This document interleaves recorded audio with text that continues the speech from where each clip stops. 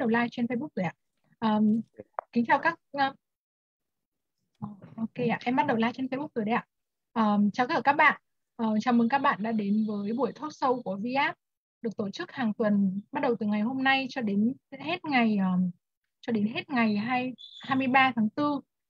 thì uh, hàng tuần thì talk show của VF sẽ có rất là nhiều chủ đề liên quan đến lĩnh vực trọng tài um, cũng như là trọng tài tại Việt Nam cũng như trọng tài quốc tế. Và hy vọng rằng là với những chủ đề trong ừ, buổi talk sau ngày hôm nay và những chủ đề trong buổi những buổi talk sau sắp tới thì um, sẽ cung cấp cho các bạn học viên cũng như là những uh, anh chị đã và đang hành nghề luật uh, sẽ có thêm nhiều kiến thức hơn bổ ích hơn về nghề trọng tài. Và trước khi mà chúng ta bắt đầu buổi talk sau ngày hôm nay thì um, hiện tại um, mình đang thấy là vẫn còn rất là nhiều những bạn um, đang xem talk show của VF trên Facebook thì mọi người vui lòng là mọi người hãy sử dụng ờ, và join Zoom nếu mà những bạn anh chị nào đã đăng ký link Zoom ở trên ờ, link đăng ký của VF rồi thì mọi người vui lòng là sử dụng link Zoom để chúng ta có thể có cơ hội được uh, trò chuyện trực tiếp cũng như là đặt câu hỏi cho các diễn giả trong buổi talk show ngày hôm nay ạ.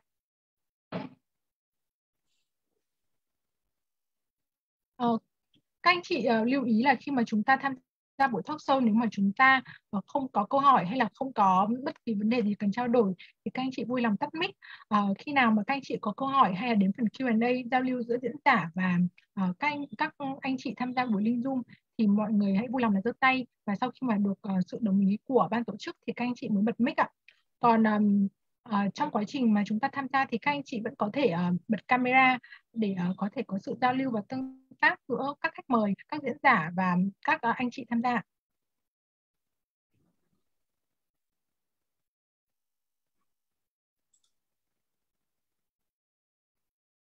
Uh, các anh chị ơi, nếu mà chúng ta, um, các anh chị nào mà chúng ta còn đang xem livestream trên uh, Facebook thì các anh chị vui lòng là chúng ta sẽ sử dụng link Zoom và ban tổ chức đã gửi qua email các anh chị uh, ờ, để chúng ta có thể tham gia trực tiếp và đặt câu hỏi tới tất cả tới um, hai vị um, khách mời của chúng ta ngày hôm nay. Và đây cũng là một cách để cho các anh chị tương tác và chúng ta cũng có thể đặt câu hỏi qua phần box chat của Zoom. Uh, có hai cách để đặt câu hỏi, một là khi chúng ta cảm thấy là chúng ta có những vấn đề nào cần thắc mắc uh, mà muốn được giải đáp thì chúng ta có thể chat qua phần box chat Zoom. Hoặc là chúng ta chờ đến phần Q&A ở cuối chương trình thì chúng ta cũng có thể được phát biểu và được uh, thể hiện những quan điểm, những câu hỏi của mình dành cho các vị khách mời vô cùng là đáng kính của chúng ta ngày hôm nay ạ.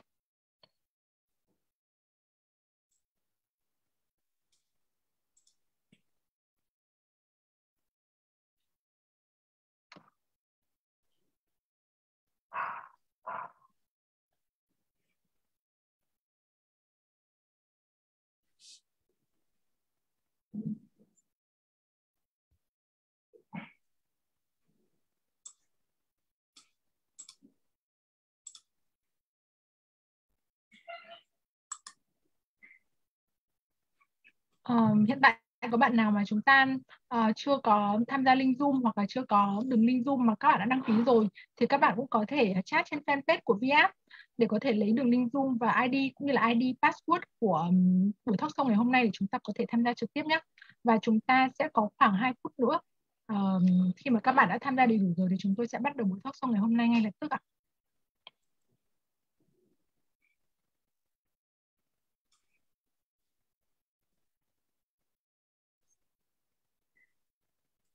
Uh, vì buổi thoát sâu của chúng ta chỉ diễn ra diễn ra trong vòng một tiếng thôi uh, tức là từ 8 giờ 08 phút cho đến 9 giờ. Nên là nếu mà các anh chị và các um, bạn uh, các bạn học viên, các bạn là sinh viên, những người đã và đang tham gia hoặc là quan tâm đến những trọng tài có câu hỏi hay là thắc mắc gì hoặc là đã tìm hiểu trước về chủ đề của buổi talk show ngày hôm nay thì chúng ta có thể đặt ngay câu hỏi trực tiếp ngay bây giờ trên phần chat box của Zoom. Và tất nhiên là tất cả những câu hỏi mà các anh chị thắc mắc ờ, chúng tôi sẽ cố gắng trả lời hết các câu hỏi các anh chị trong buổi tối ngày hôm nay. Và nếu mà chúng ta có quá nhiều câu hỏi mà không thể, không có thể giải đáp trong buổi tối ngày hôm nay thì các anh chị cũng ờ, có thể ờ, uh, trả lời đặt câu hỏi bằng cách là gửi qua hòm email của của VF đó là admin@vf.vn hoặc là chat trực tiếp trên fanpage của VF và VF sẽ gửi lại những cái phần câu hỏi và thắc mắc của các anh chị tới các học tới các um, diễn giả uh, đó là thầy Dũng và anh Nam và các diễn giả sẽ trả lời tất cả các câu hỏi các anh chị nên là nếu chúng nên là chúng ta sẽ yên tâm là tất cả câu hỏi mà các anh chị đặt ra thì đều sẽ được uh, ban tổ chức và các diễn giả trả lời nhé.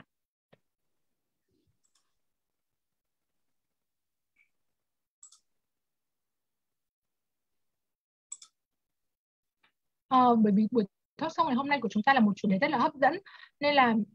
uh, nên là nếu mà chúng ta có thể thì các anh chị cũng có thể share đường link Zoom và ID password uh, cho những bạn học viên mà cho những người mà chưa đăng ký chưa kịp đăng ký ở trong uh, trên web trực tiếp của chúng tôi thì các bạn cũng có thể share đường link hoặc là chia sẻ để mọi người cũng có thể tham gia và cùng uh, thảo luận về chủ đề ngày hôm nay ạ. Vâng và uh, như tôi cũng đã đề cập ngay từ ban đầu bây giờ là 8 giờ 08 và chúng ta sẽ bắt đầu buổi talk show cùng với VF ngày hôm nay. À, xin chào mừng toàn thể các anh, các bạn sinh viên, các anh chị và các thầy cô đã và đang uh, theo dõi những chương trình rất là bổ ích lý thú của buổi talk show VF được diễn ra hàng tuần vào tuần thứ sáu bắt đầu từ ngày hôm nay và như các bạn đã biết thì ờ, Viện Trọng tài Quốc tế Việt Nam VF là nơi mà chúng tôi uh, tổ chức những khóa học, những cuộc thi, những event, sự kiện liên quan đến lĩnh vực trọng tài và chúng tôi cam đoan là đây là một trong những viện uh, duy hàng đầu và cũng là đầu tiên của Việt Nam đào tạo cung cấp những kiến thức uh, về lĩnh vực trọng tài tại Việt Nam cũng như là lĩnh vực trọng tài trên thế giới. Và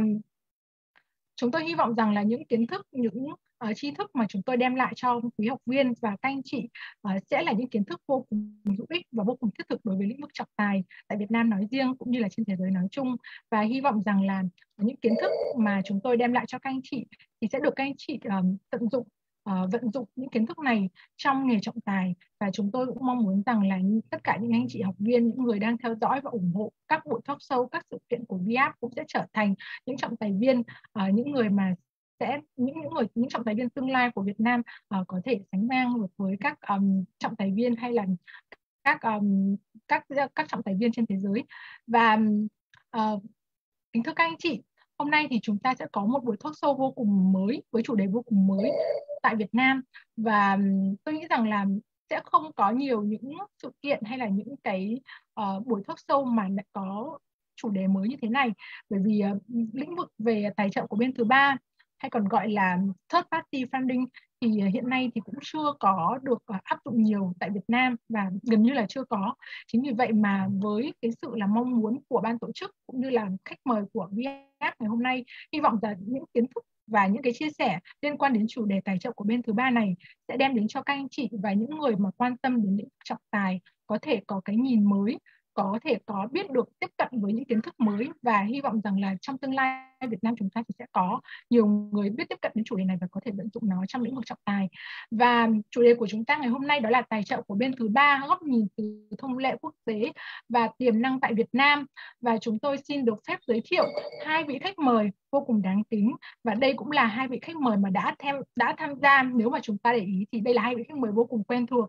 đã tham gia rất nhiều những sự kiện và rất, rất nhiều những khóa học của VF à, chúng tôi xin trân trọng giới thiệu à, vị khách mời đầu tiên và cũng là một vị khách mời đã tham gia rất nhiều khóa học của VF và sự kiện của VF rồi đấy ạ. À. Đó là Phó Giáo sư Tiến sĩ Trần Việt Dũng, trưởng khoa luật quốc tế Đại học Luật Thành phố Hồ Chí Minh ạ.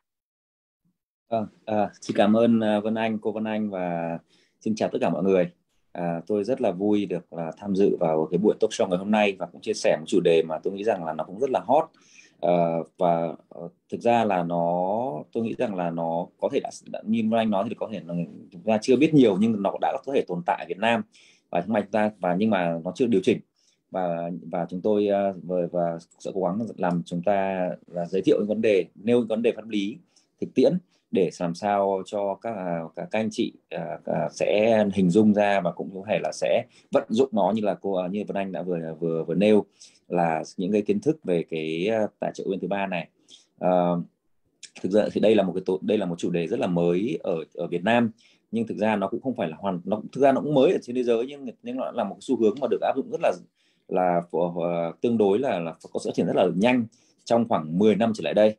đấy thực ra thì và và cái và cái sự tham gia của bên thứ ba vào trong tố tụng uh, trọng tài đó là một cái nó là một cái uh, vấn đề mà uh, rất nhiều uh, có tranh luận uh, và ừ, ở chỉ mặt về mặt gọi là các nguyên tắc của trọng tài. Đấy và trên thế giới người ta đã có những thầy những có những quan điểm khác nhau và cũng có những cách tiếp cận để mà làm sao nó đáp ứng được cái nhu cầu này. Đây thực tế là đây là một nhu cầu một cái một cái có cái cung với cầu trên về, về cái cái thực tiễn này. Đấy thì hôm nay chúng tôi sẽ cố gắng giới thiệu một cách rất là khái quát về vấn đề này và chúng ta trao đổi cụ thể xem là ở Việt Nam nó cái vấn đề cái cái cái định chế này nó có được nên được điều chỉnh hay không và nếu điều chỉnh điều chỉnh như thế nào. Thế thì à, à, tôi có trao đổi với cả anh Nam thì à, chúng tôi cũng chia sang thành hai phần phần đầu tiên thì tôi giới, giới thiệu những cái uh, uh, lý luận hay là những cái vấn đề cơ, cơ bản cũng như những cái những cái vấn đề pháp lý mà người ta uh, trên thế giới người ta đang, đang bàn tới khi mà uh, nói về câu chuyện của tài trợ của bên thứ ba. Và uh, cũng như là tôi sẽ nêu một phần số vấn đề tại Việt Nam. Uh, khi mà chúng ta luật pháp luật chúng ta ừ, nói gì vấn đề này hay là chúng ta cần phải có cái cách cái nhìn như thế nào đối với cái tài tài trợ bên thứ ba và anh Nam thì tiếp sau đó thì sẽ à, có những cái có những cái à, trình bày về cái thực tiễn của Anh và Singapore hai cái nơi mà họ đã có rất nhiều kinh nghiệm và rất thành công trong cái việc là điều chỉnh cái uh, cơ chế về tài trợ của bên thứ ba trong trong tố tụng trọng tài. Đấy là cái cái tôi nghĩ rằng là đây là cái gọi là tóm tắt về những cái nội dung chúng ta sẽ cùng trao đổi trong buổi uh, tối ngày hôm nay. Thế thì uh, không mất thêm thời gian tôi sẽ bắt đầu trình bày bài của mình. Uh, cái uh, như chúng ta biết thì trọng tài à, à, xin chắc là nhờ cô Vân Anh uh, bật cho slide hộ tôi cái tại vì cái cái tôi sợ là cái cái đường truyền của tôi nó nếu mà bật slide nhiều khi nó lại bị uh, uh, bị trục trặc á. Dạ vâng ạ. Vậy vâng. em cũng nhanh chỉ có phải có chín cái slide thôi, không cũng nhưng mà cho cho nó gọi là uh, có có màu thôi còn các bạn có thể theo dõi bằng tôi nghĩ là cũng có thể nắm được cho slide thứ hai đi uh, Vân uh, Vân Anh rồi uh, rồi cảm ơn Vân Anh dạ vâng. thế thì uh, cái slide thứ hai này chỉ là là là có ba nội dung mà tôi đã trình bày trong phần à, giới thiệu à, ở cái phần à, trình bày của tôi thôi thì cái này sẽ bỏ qua được. Mình bắt đầu vào slide tiếp theo. Là cho slide tiếp vâng cảm ơn. À, thì à, thực ra thì chúng ta thấy rằng là trọng tài thông thường sẽ được uh, tính trên tỷ cái cái trọng tài là nó là một cái định chế mà các bên sẽ được bảo vệ sự bảo mật này rồi họ sẽ trực tiếp tham gia tự bỏ chi các chi phí và để mà tham gia vào ờ, vào ờ, cái ờ, thủ tục trọng tài à, con chúng ta cũng biết thì trọng tài nó là một cơ chế chất tư. Tức là cái cái chi phí trọng tài nó cách họ sẽ được tính tính trên cái gì? Tính trên cái giá trị của tranh chấp. Thế thì uh, và như vậy là cái tranh chấp càng lớn thì cái giá trị uh, mà cái gọi là cái phí trọng tài nó càng cao. Đấy thì uh, đây đây là một cái uh, đây là nó sẽ khác với cả cái ở cái cái tranh tranh tụng ở tòa vì tòa thì cái mức à, cái chi phí cho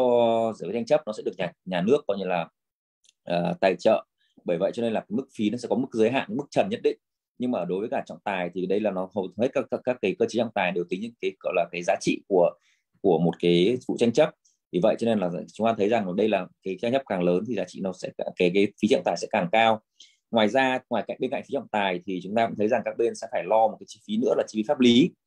là chi phí pháp lý đây bao gồm là gì? Chi phí luật sư chi phí truy cho chuyên gia cho các cố vấn rồi giám định vân vân.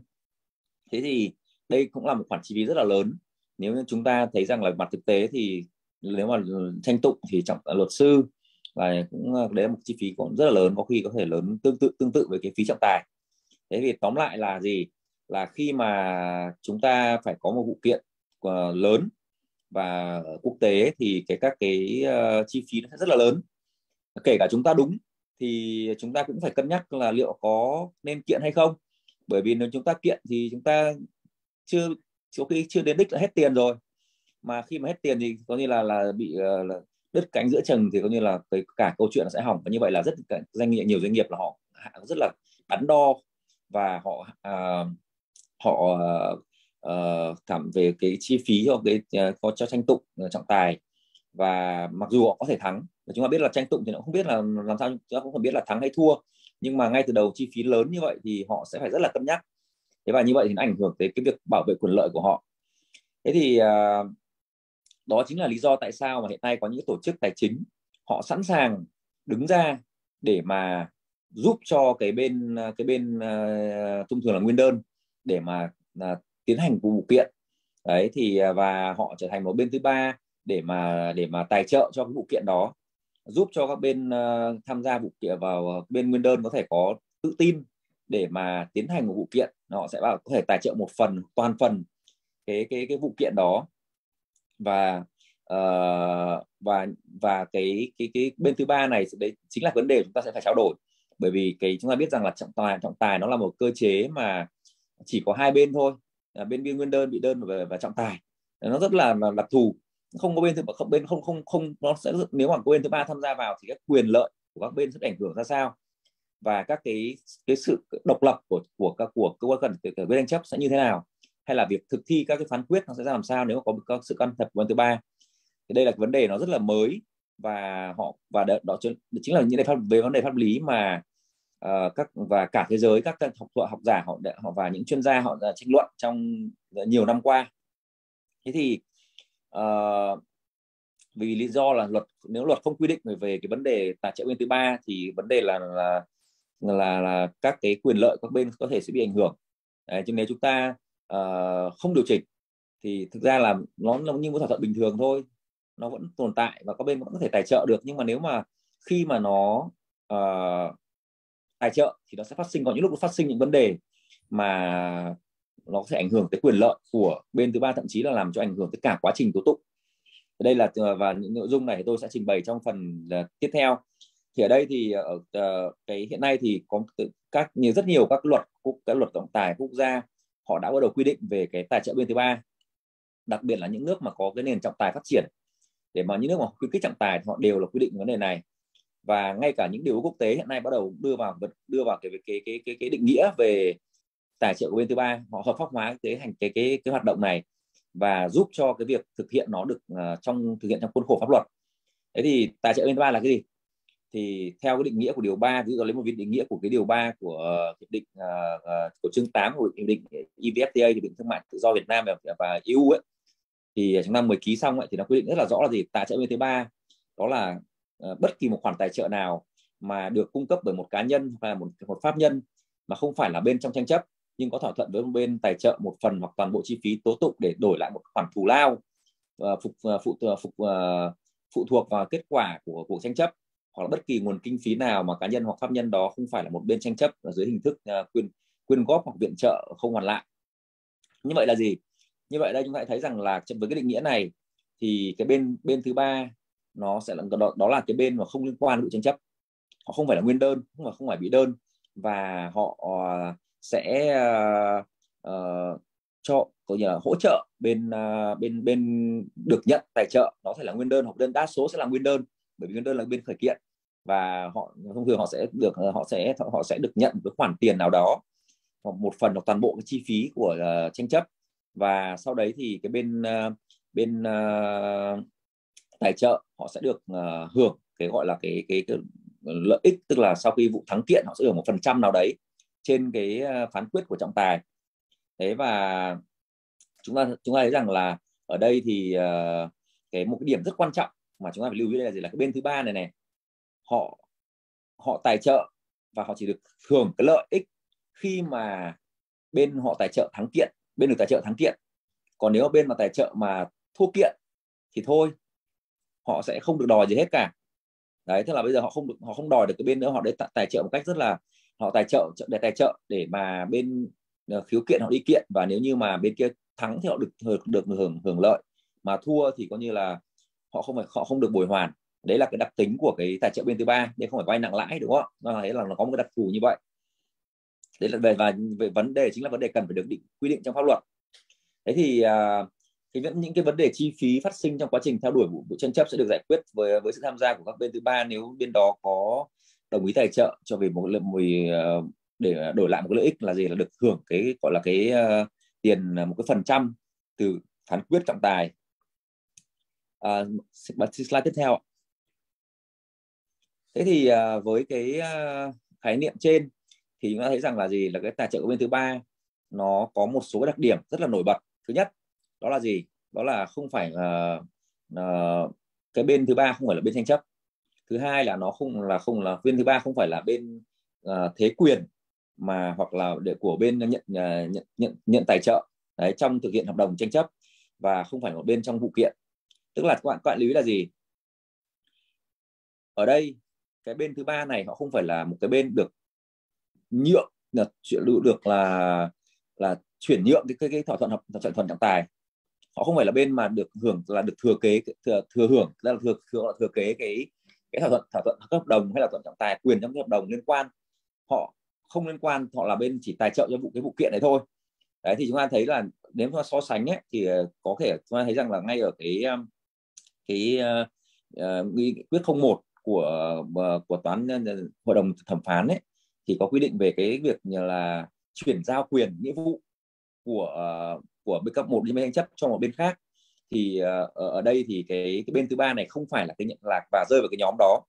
Họ không phải là bên được nhượng được ờ, được uh, không phải là bên được thế quyền từ cái tranh chấp mà mà phát sinh. Họ chỉ là họ mà họ chỉ đóng vai trò là bên uh, tài trợ cho cái cái vụ kiện và họ không được họ không không được tham gia vào vụ kiện với tư cách là cái bên có quyền hay nghĩa vụ liên quan đấy các bạn là đấy đây là một đặc thù của cái tài trợ bên thứ ba. Họ thuần túy là tài trợ cho vụ kiện thôi chứ họ không được quyền là gì? Là tham gia với bất cứ một cái quyền hay là một cái tham gia với tư cách là là ờ, nguyên đơn hay là bị đơn hay là các bên có quyền lợi ích liên quan trong bản thân cái vụ việc này vụ kiện.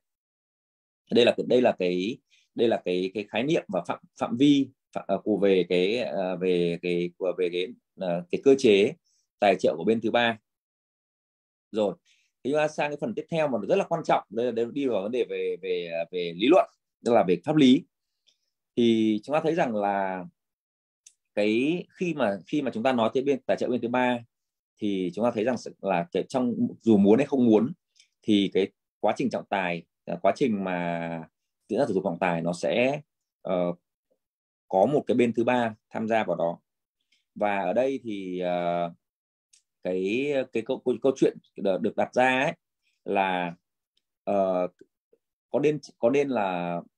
bắt buộc là các bên phải thông báo các bên có liên quan phải thông báo cái tài trợ uh, cho về thông tin của bên tài trợ cho cho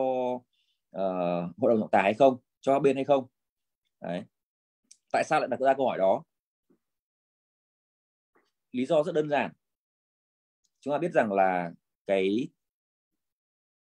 để cái trọng tài họ phải công tâm họ phải công tâm họ phải độc lập. Thế thì bây giờ nếu mà một bên một bên thứ ba họ tức là bên thứ ba họ tham gia vào trong cái uh, uh, vụ việc này mà họ lại có một cái lợi ích gì đó liên quan tới thành viên đội trọng tài thì rõ ràng là trọng tài sẽ gì? Sẽ là không không một công tâm nữa. Và như vậy là gì? Là và cái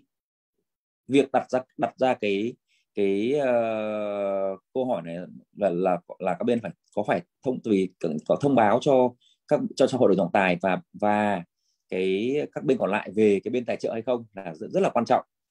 Cái câu hỏi đặt cái câu hỏi mà chúng ta đặt ra là bây giờ những câu hỏi chúng ta lại đặt có những quan hai quan điểm khác nhau về vấn đề này. Trên thế giới thực ra là có người ta đấy là vấn đề rất tranh rất tranh cãi. Có cần thông báo hay không? Thực ra tôi, ai là trợ tôi thì đấy là việc của tôi. Đấy là một thỏa thuận độc lập. À, và cái quan điểm thứ nhất đối với vấn đề này là gì? Là cái không cần phải đưa ra yêu, yêu cầu bắt buộc về việc tài trợ phải công bố thông tin về những cái việc chủ thể này hay có những, những tài trợ của bên thứ ba uh, để theo đổi vụ kiện hay không. Và cái cơ sở lý luận cho cái uh, cho cái, cái cái quan điểm này là gì? Là uh, việc tài trợ bên thứ ba không ảnh hưởng đến hoạt động uh, của trọng tài. Và thực chất thì nó chỉ là một khoản vay hay là một khoản tài trợ cho bên nhận tài trợ để mà có thể uh, có tài chính thực hiện vụ kiện thôi. Thế và như vậy là gì? Là không cần thông báo gì hết cứ thế mà thực hiện thôi. Thế nhưng mà cái ngược mặt ở mặt ngược lại nếu như không thông báo thì nó sẽ có những hậu quả gì? Thì cái đây là thì cái bên cái bên phản biện lại quan điểm này họ cho rằng là gì? Là uh, cái việc mà không công bố thông tin liên quan việc tài trợ của bên thứ ba nó nó nó sẽ dẫn một cái một nó dẫn đến một vấn đề là gì? Là các cái uh, có thể là là cái bên thứ ba đấy họ lại có cái quan hệ quan hệ gì đó với cả trọng tài. Và thông thường nó thấy là trọng tài viên là ai? Là là các luật sư rồi là các học giả rồi các cái ờ, chuyên gia. Họ làm cái dự án này dự án kia. Và có thể là cái bên thứ ba đó là bên mà tài trợ cho họ hay là, là thuê họ hay có lợi ích với họ. Vậy thì cái hậu quả rất là nhãn tiền là sau này khi mà khi mà chúng ta thấy rằng là khi mà tình huống các bên các cái uh, uh, khi mà xảy ra tình huống các thành viên của hội đồng trọng tài cũng là những, những người thực hành chức uh, các cái công công việc mà có liên quan tới cái bên thứ ba đấy thì sau này rõ ràng là có thể là gì, là bên mà thu kiện họ sẽ yêu cầu là hủy phán quyết. Đấy, thì đây là đây là cái một là, và họ rằng là bên trọng tài thiên vị, cái bên cái bên bên nguyên đơn hạn, bên được, đơn được tài trợ. Đấy, thì đấy là cái sau này, đấy là cái cái cái mà còn hai quan điểm khác nhau. Một bên nói là đây là thuận tư, tôi không cần thông báo cho ai hết. Còn một bên là yêu cầu là phải, đấy là một nghĩa vụ phải thông báo. Nếu mà có tài trợ là phải thông báo và cái việc thông báo này nó sẽ dẫn tới việc là gì? Là trọng tài cũng phải cũng phải tông phải phải phải uh, bảo đảm rằng là mình không có lợi ích xung đột với cái bên thứ ba đó. Đấy thì đây là cái uh, đây là hai quan điểm khác về cái vấn đề của trọng về cái vấn đề liên quan đến có, có, có việc có bắt các bên phải quy định cái công uh, thông báo công khai hay không về bên trọng tài trợ bên thứ ba. Và cái hậu hệ quả của nó là gì? Là là cái khi mà nhưng mà cặp cơ thứ ba thì họ sẽ phải uh, thông tin đầy đủ về cái cái bên tài trợ với mức tài trợ rồi vân vân. Thì đấy là cái mà mà mà uh, có những cái quan điểm mà nó khác nhau vấn đề này. Đấy. Thế thì uh, với cá nhân tôi đấy thì có tôi nghĩ rằng là uh, khi thực hiện mà để khi mà khi mà thực tế thì sự tồn tại của việc tài trợ bên thứ ba mối và mối quan hệ như vậy ờ, như vậy được phát triển bởi các ờ, của cái bên được tài trợ ấy thì nó rất là nó ảnh hưởng tới phán quyết trọng tài. Thì ờ, chính vì cái việc anh nói ảnh hưởng đến phán quyết trọng tài thì có thể là gì? Là đến dẫn tới hủy hủy phán quyết. Như vậy là thì tôi nghĩ rằng là cái tài trợ bên thứ ba cho một bên cái việc tài trợ bên thứ ba phải được phải được cái bên mà được tài trợ công bố uh, công khai cho các bên là cho cho hội đồng tài cũng như là cho các bên à, à, à, tranh chấp. Điều này sẽ tránh được trường hợp mà phán quyết trọng tài có thể bị hủy hoặc không được thi hành tùy trường hợp mà dựa trên những cái à, cái, cái thiên vị của à, cái hội đồng trọng tài trong trong khi thực hành cái nhiệm nhiệm vụ của mình. Thế và vấn đề tiếp theo ở đây tuy nhiên nó lại phát sinh là gì? Thế vậy thì công bố thông tin mức độ nào? Công bố đến đâu? Công bố chỉ là tên các bên thôi hay là công cả số tiền được tài trợ hay công bố những cái thông tin gì? Thì cái này là luật lại phải được quy định tiếp bởi vì là nó sẽ ảnh hưởng tới cái các cái gọi là thông tin cá nhân của của các bên. Thì đấy là cái mà uh, vấn đề một cái pháp lý mà uh, cái tài trợ bên thứ ba nó sẽ nó sẽ phát sinh. Rồi uh, mời slide tiếp theo. Đấy thì ở đây uh, chúng ta thấy rằng là với cái công cái cái mà tôi uh, uh, vừa trình bày thì chúng ta thấy rằng là cái uh, uh, nó sẽ có cái việc thông cái việc công bố công khai nó sẽ dẫn tới là uh, uh,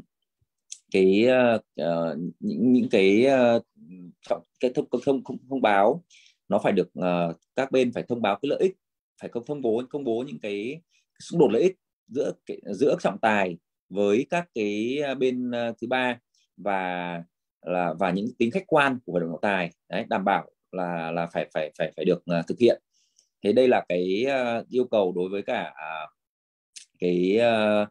uh, quy định của uh, pháp luật đối với nghĩa vụ của bên được tài trợ uh, thông báo cho công khai về cái bên uh, bên uh, tài trợ. Thế thì uh, uh, cái uh, hiện nay thì chúng uh, hiện nay thì như vậy là chúng ta câu, câu hỏi chúng là có lẽ sẽ là đặt ra với cả cả chúng ta là vậy thì có trên thế giới hiện nay có nhiều nước họ họ quy định cái này không? Có nhiều hay là hay là cái đấy cái này nó nó như thế nào? Thì uh, thực ra mà nói thì uh, cái uh, tài trợ cho bên thứ ba nó thực sự vẫn là một vấn đề tương đối mới. Và nó là một vấn đề mà nó bắt đầu được chỉ được coi như có quan tâm và phân tích trong khoảng 10 năm trở lại đây thôi. Thế và thực sự là trước đây á, thì các có rất nhiều nước họ họ cấm luôn cái việc tài trợ bên thứ ba đấy thì ví dụ như là cái nước mà à, à, một trong cái nước mà tiên phong việc cho phép bên thứ ba trước đây họ cấm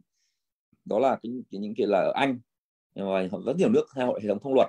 họ cấm việc tài trợ cho bên thứ ba trong rất nhiều trong à, trong thời gian rất là dài. Vì họ việc cấm cái việc tài trợ bên thứ ba đó bên thứ ba tài trợ nó cấm bên thứ ba tài trợ luôn. Trên cơ sở là học thuyết về nó gọi là maintenance và và champerty cái maintenance là cái là nó là cái gì? Là cái sự hỗ trợ trong việc khởi khởi kiện hoặc là bảo vệ một vụ kiện được đưa ra cho một cái đương sự bởi à, bởi một cái người không có lợi ích trực tiếp trong vụ kiện uh, can thiệp vào vụ việc của của người khác là không được. Và thứ hai là gì? Là cái cái champerty nghĩa là gì? Là cái à, thỏa thuận giữa một bên can thiệp chính thức trong vụ kiện vụ việc và một bên đương sự giúp bên theo đuổi cái cái cái đương sự uh, để nhận một cái phần lợi nhuận từ cái cái cái phán quyết đó là nó không không hợp pháp như vậy là gì? Cái học thuyết maintenance và champerty á, nó uh, nó nó được ra đời với mục tiêu là gì? Là hạn chế tình trạng là lạm dụng cái quyền lực quyền quyền quyền lực của một về hay quyền lực về về tài chính của một số, số cá nhân hay tổ chức để mà can thiệp vào vụ vụ kiện dân sự để mà từ từ đó là tạo lực cho một cái một cái bên bên bên khác. Và cái học thuyết này nó tồn tại rất là lâu đến suốt thế kỷ nhiều thế kỷ từ thời luật La Mã ở đặc biệt là phát triển rất phát triển ở nước ờ, thông luật và đặc, ờ, Anh nó cấm cái đó. Thì tuy nhiên thì ờ, đến đến khoảng những năm 90 thì thì cái quan điểm về về cái việc tài trợ bên thứ ba ở Anh họ thay đổi. Và đến những năm đến năm đến năm 2000 thì Anh đã là một nước một trong nước tiên phong mà hợp pháp hóa cái việc là tài trợ bên thứ ba thì cái này chút nữa mà anh anh uh, Nam sẽ sẽ trình sẽ à, giới thiệu anh anh chị à, cụ thể hơn về cái thực tiễn của anh vì anh là một nước rất thành công trong và rất là định rất là cụ thể về cái tài trợ nguyên thứ ba. Và cái uh, cái cái hoạt động này nó rất nó bây giờ nó ở, ở ở Anh có thể là cũng là do là cái Anh là một nước về trung tâm tài chính rất nhiều người nhiều tiền. Đấy với giờ những hoặc là họ có những ông như là uh, tỷ phú đến đấy thích ở, ở Anh họ có dư tiền họ sang tài trợ những vụ kiện này đúng không ạ? Đấy thì như vậy là cho nên là bạn vì thấy anh rất cởi mở hơn trong cái cái ờ, cái chế tại cái, cái cơ chế về tài trợ cho bên thứ ba. Thế giờ nhưng mà không phải nước nào cũng ờ, các nước nào cũng rất cởi mở. Nhưng mà ở châu Á hiện nay ấy, tôi lấy một thì hiện nay có rất nhiều nước à, những nước mà họ tôi biết thì là ví dụ như là Hàn Quốc à, Nhật Bản à, Singapore Hồng Kông họ đã đều chấp nhận cái tài trợ bên thứ ba. Thế và đặc biệt là hai cái nước là Singapore và Hồng Kông thì họ được thậm chí đưa vào luật đấy thế như là cái cái ờ, thực tiễn ở Singapore thì họ đã ờ, đưa vào cái quy tắc thực hành nghề nghiệp pháp lý. Ờ, và theo đó thì các cái các cái các bên các cái người thực hiện thực hiện thực hành pháp luật đấy những người thực hành nghề nghiệp là pháp lý ấy, bao nhiêu như là luật sư này trọng tài này rồi thẩm phán rồi các cái bản thân cả cái là là phải khi mà họ biết được cái này họ phải công bố và cái sự tồn tại tài trợ của bên thứ ba cho cho uh, cho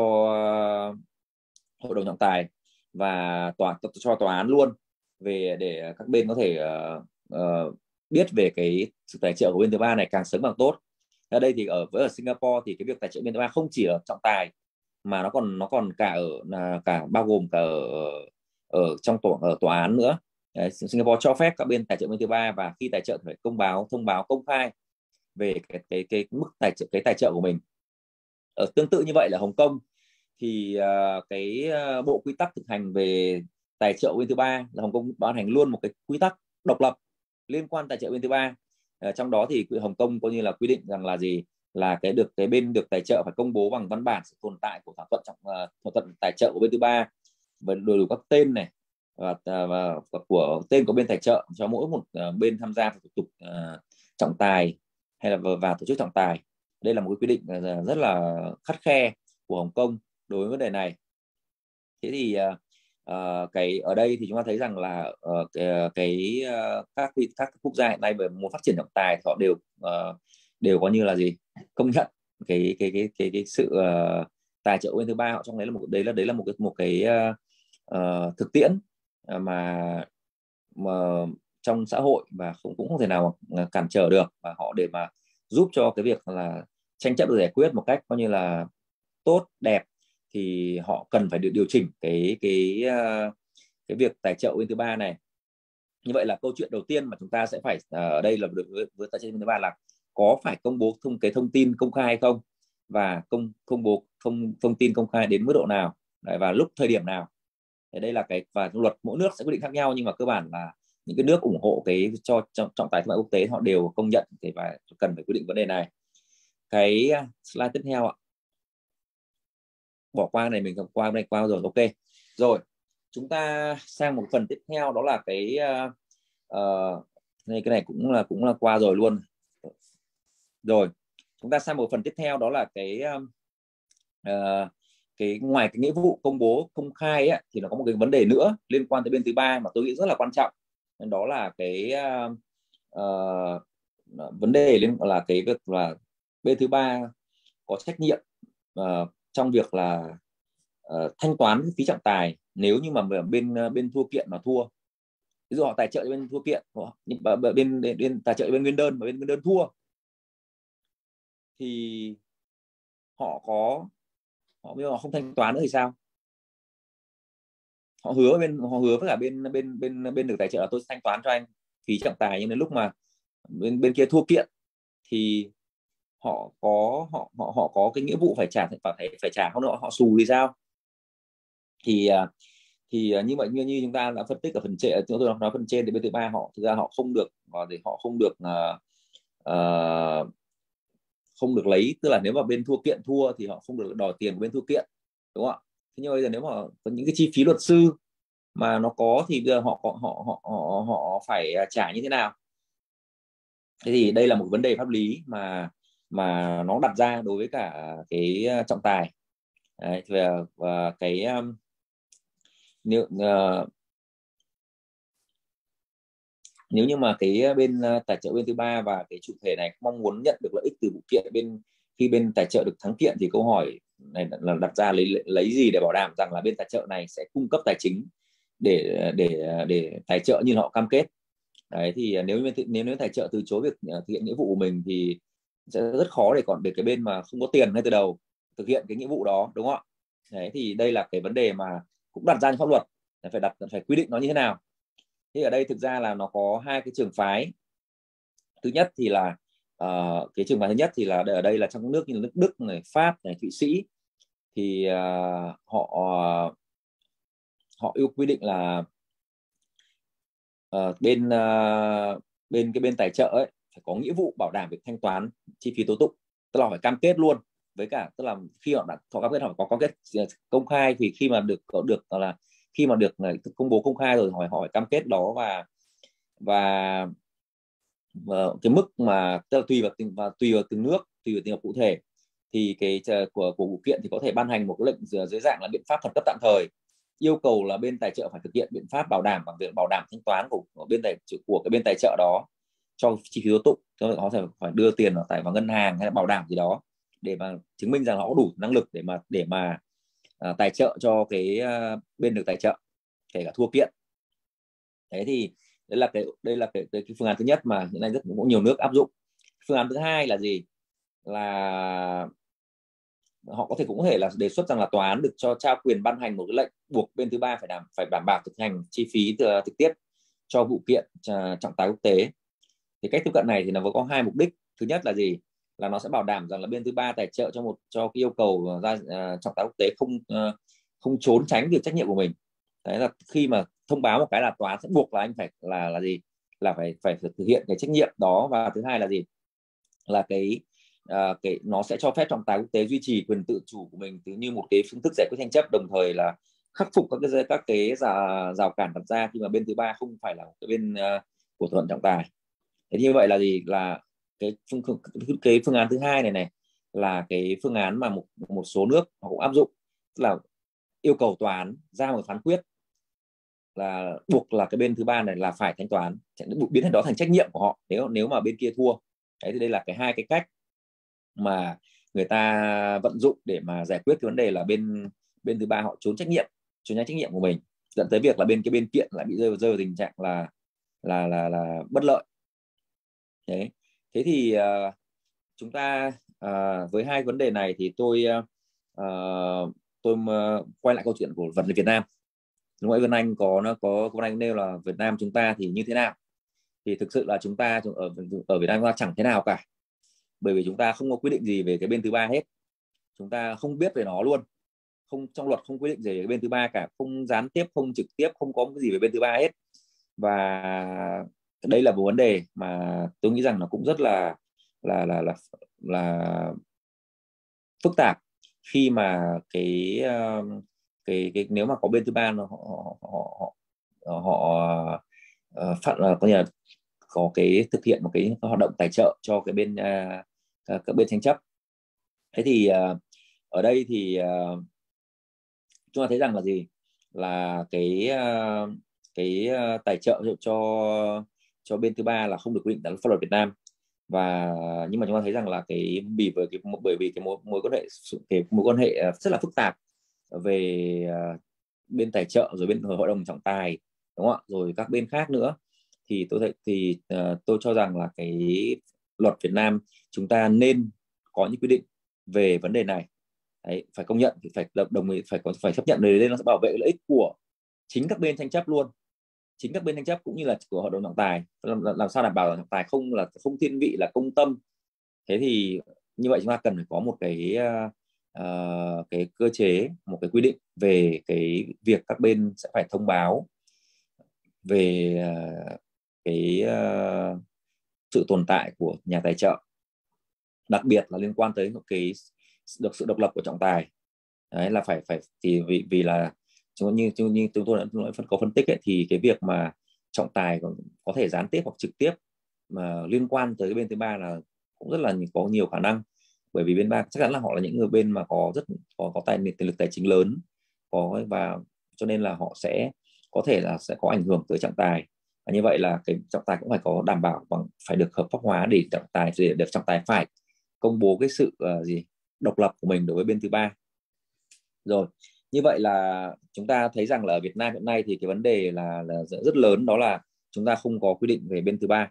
và cũng tương tự như vậy thì tôi cũng nêu cái vấn đề liên quan tới cái, uh, cái việc mà uh, những cơ chế để bảo uh, những cái cơ chế liên quan tới việc thực thi cái uh, trách nhiệm của bên thứ ba thì vì chúng ta không có những cái nghĩa vụ không có những cái uh, quy định về nghĩa vụ công bố thông tin uh, này. như vậy sau đấy nếu sau đó nếu mà uh, phán quyết trọng tài được được tuyên mà bên còn lại họ lại phát hiện rằng là có cái một lợi ích liên quan đấy thì họ có thể kiện tất nhiên là tôi không biết là kết quả ra sao nữa bởi vì thực ra là luật chúng ta chưa quy định thế nhưng mà rõ ràng là ở đây là cái khi mà uh, ra tòa thì cái tòa án hoàn toàn là có thể là dựa trên cơ sở đấy là hủy phán quyết. Thế như vậy đấy đây là là cái vấn đề mà ờ, mà tôi nghĩ rằng là rất là uh, nhạy cảm và cũng rất là uh, cần phải được xem xét. Thế thì ngoài ra thì cũng như là có một vấn đề mà tôi nghĩ rằng là cũng rất là quan trọng đó là cái việc mà uh, thực thi cái, cái những cái biện pháp uh, hay những cái phép mắc cấp tạm thời thế thì uh, hiện nay thì chúng ta uh, theo cái khoản 1 của điều 49 luật trọng tài thương mại á, thì chúng ta cho phép hội đồng trọng tài thực hiện các cái biện pháp mà uh, cấp tạm thời đối với các bên tranh chấp. Nhưng mà chúng ta không có quy định gì về, về cái bên thứ ba cả. Thế nhưng mà tôi nói vẫn nêu vấn đề là bên các nước họ sẽ quy định rằng là cái là trọng tài phải buộc ở bên thứ ba phải cam kết gì đó hoặc là tòa án ra quyết định họ phải có trách nhiệm có nghĩa vụ phải thực hiện cái cái cái cái cái, cái cam kết của mình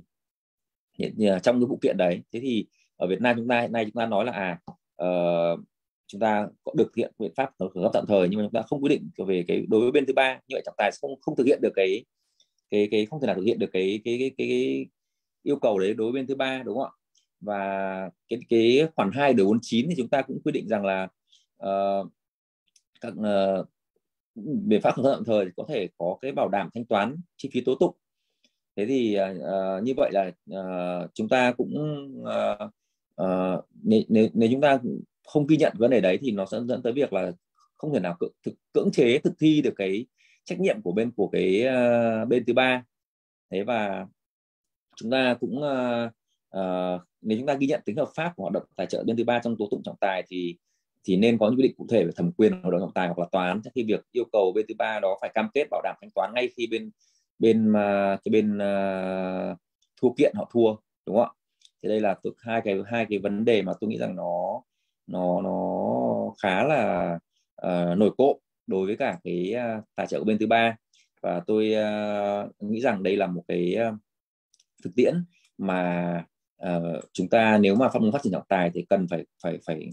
công nhận nó. Và cũng chúng ta phải học hỏi các nước trong cái việc là quy định về cái uh, cái cái uh, sự tồn tại của bên thứ ba để có đó bảo đảm được quyền lợi của các bên tranh chấp cũng như bảo đảm được cái tính độc lập và vô tư của trọng tài trong quá trình tố tụng trọng tài. Vâng thì uh, chắc là đây là cái slide cuối cùng của tôi rồi. Thì ờ, tôi dừng phần dừng dừng dừng cái phần uh, trình bày của tôi ở đây.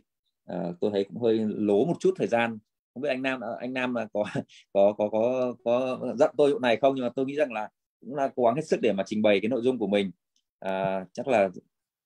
uh, sẽ là uh, mời Nam tiếp tục cái phần uh, giới thiệu về các thực tiễn của uh,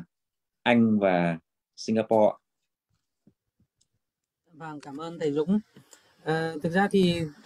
tôi cũng có bởi vì thời gian nó cũng tương đối có hạn nên là tôi đã cũng chuẩn bị cái phần slide của mình nhưng mà sau khi mà tôi xem lại cái phần trình bày cập nhật của thầy Dũng cũng là do tôi order thì chắc là do lỗi của tôi. Order xong thì tôi thấy thầy Dũng nói hết cả cái phần mà tôi có thể nói rồi. Những cái gì mà tôi à, nghĩ rằng là nó là những cái điểm đinh điều quan trọng thì thực ra là thầy Dũng đã cover hết trong cái bài của mình. Và vì chúng ta thời gian thì cũng không nhiều nên là tôi sẽ thay vì là tôi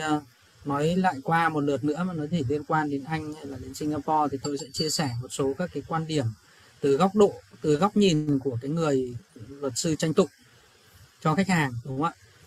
Khi mà các bạn thực hiện một cái vụ trọng tài thì chúng ta sẽ nhìn quan điểm về cái third party funding là như thế nào. À, nếu chúng ta là nguyên đơn thì chúng ta sẽ xem xét cái này như thế nào và bị đơn thì chúng ta sẽ xem xét như thế nào. Như um, thầy uh, Dũng đã định nghĩa thì chúng ta biết rằng cái third party funding là nó không bao gồm à, chúng ta phải phải tạm loại cái cái cái uh, third party funding mà Ờ, ra khỏi cái khái niệm là luật sư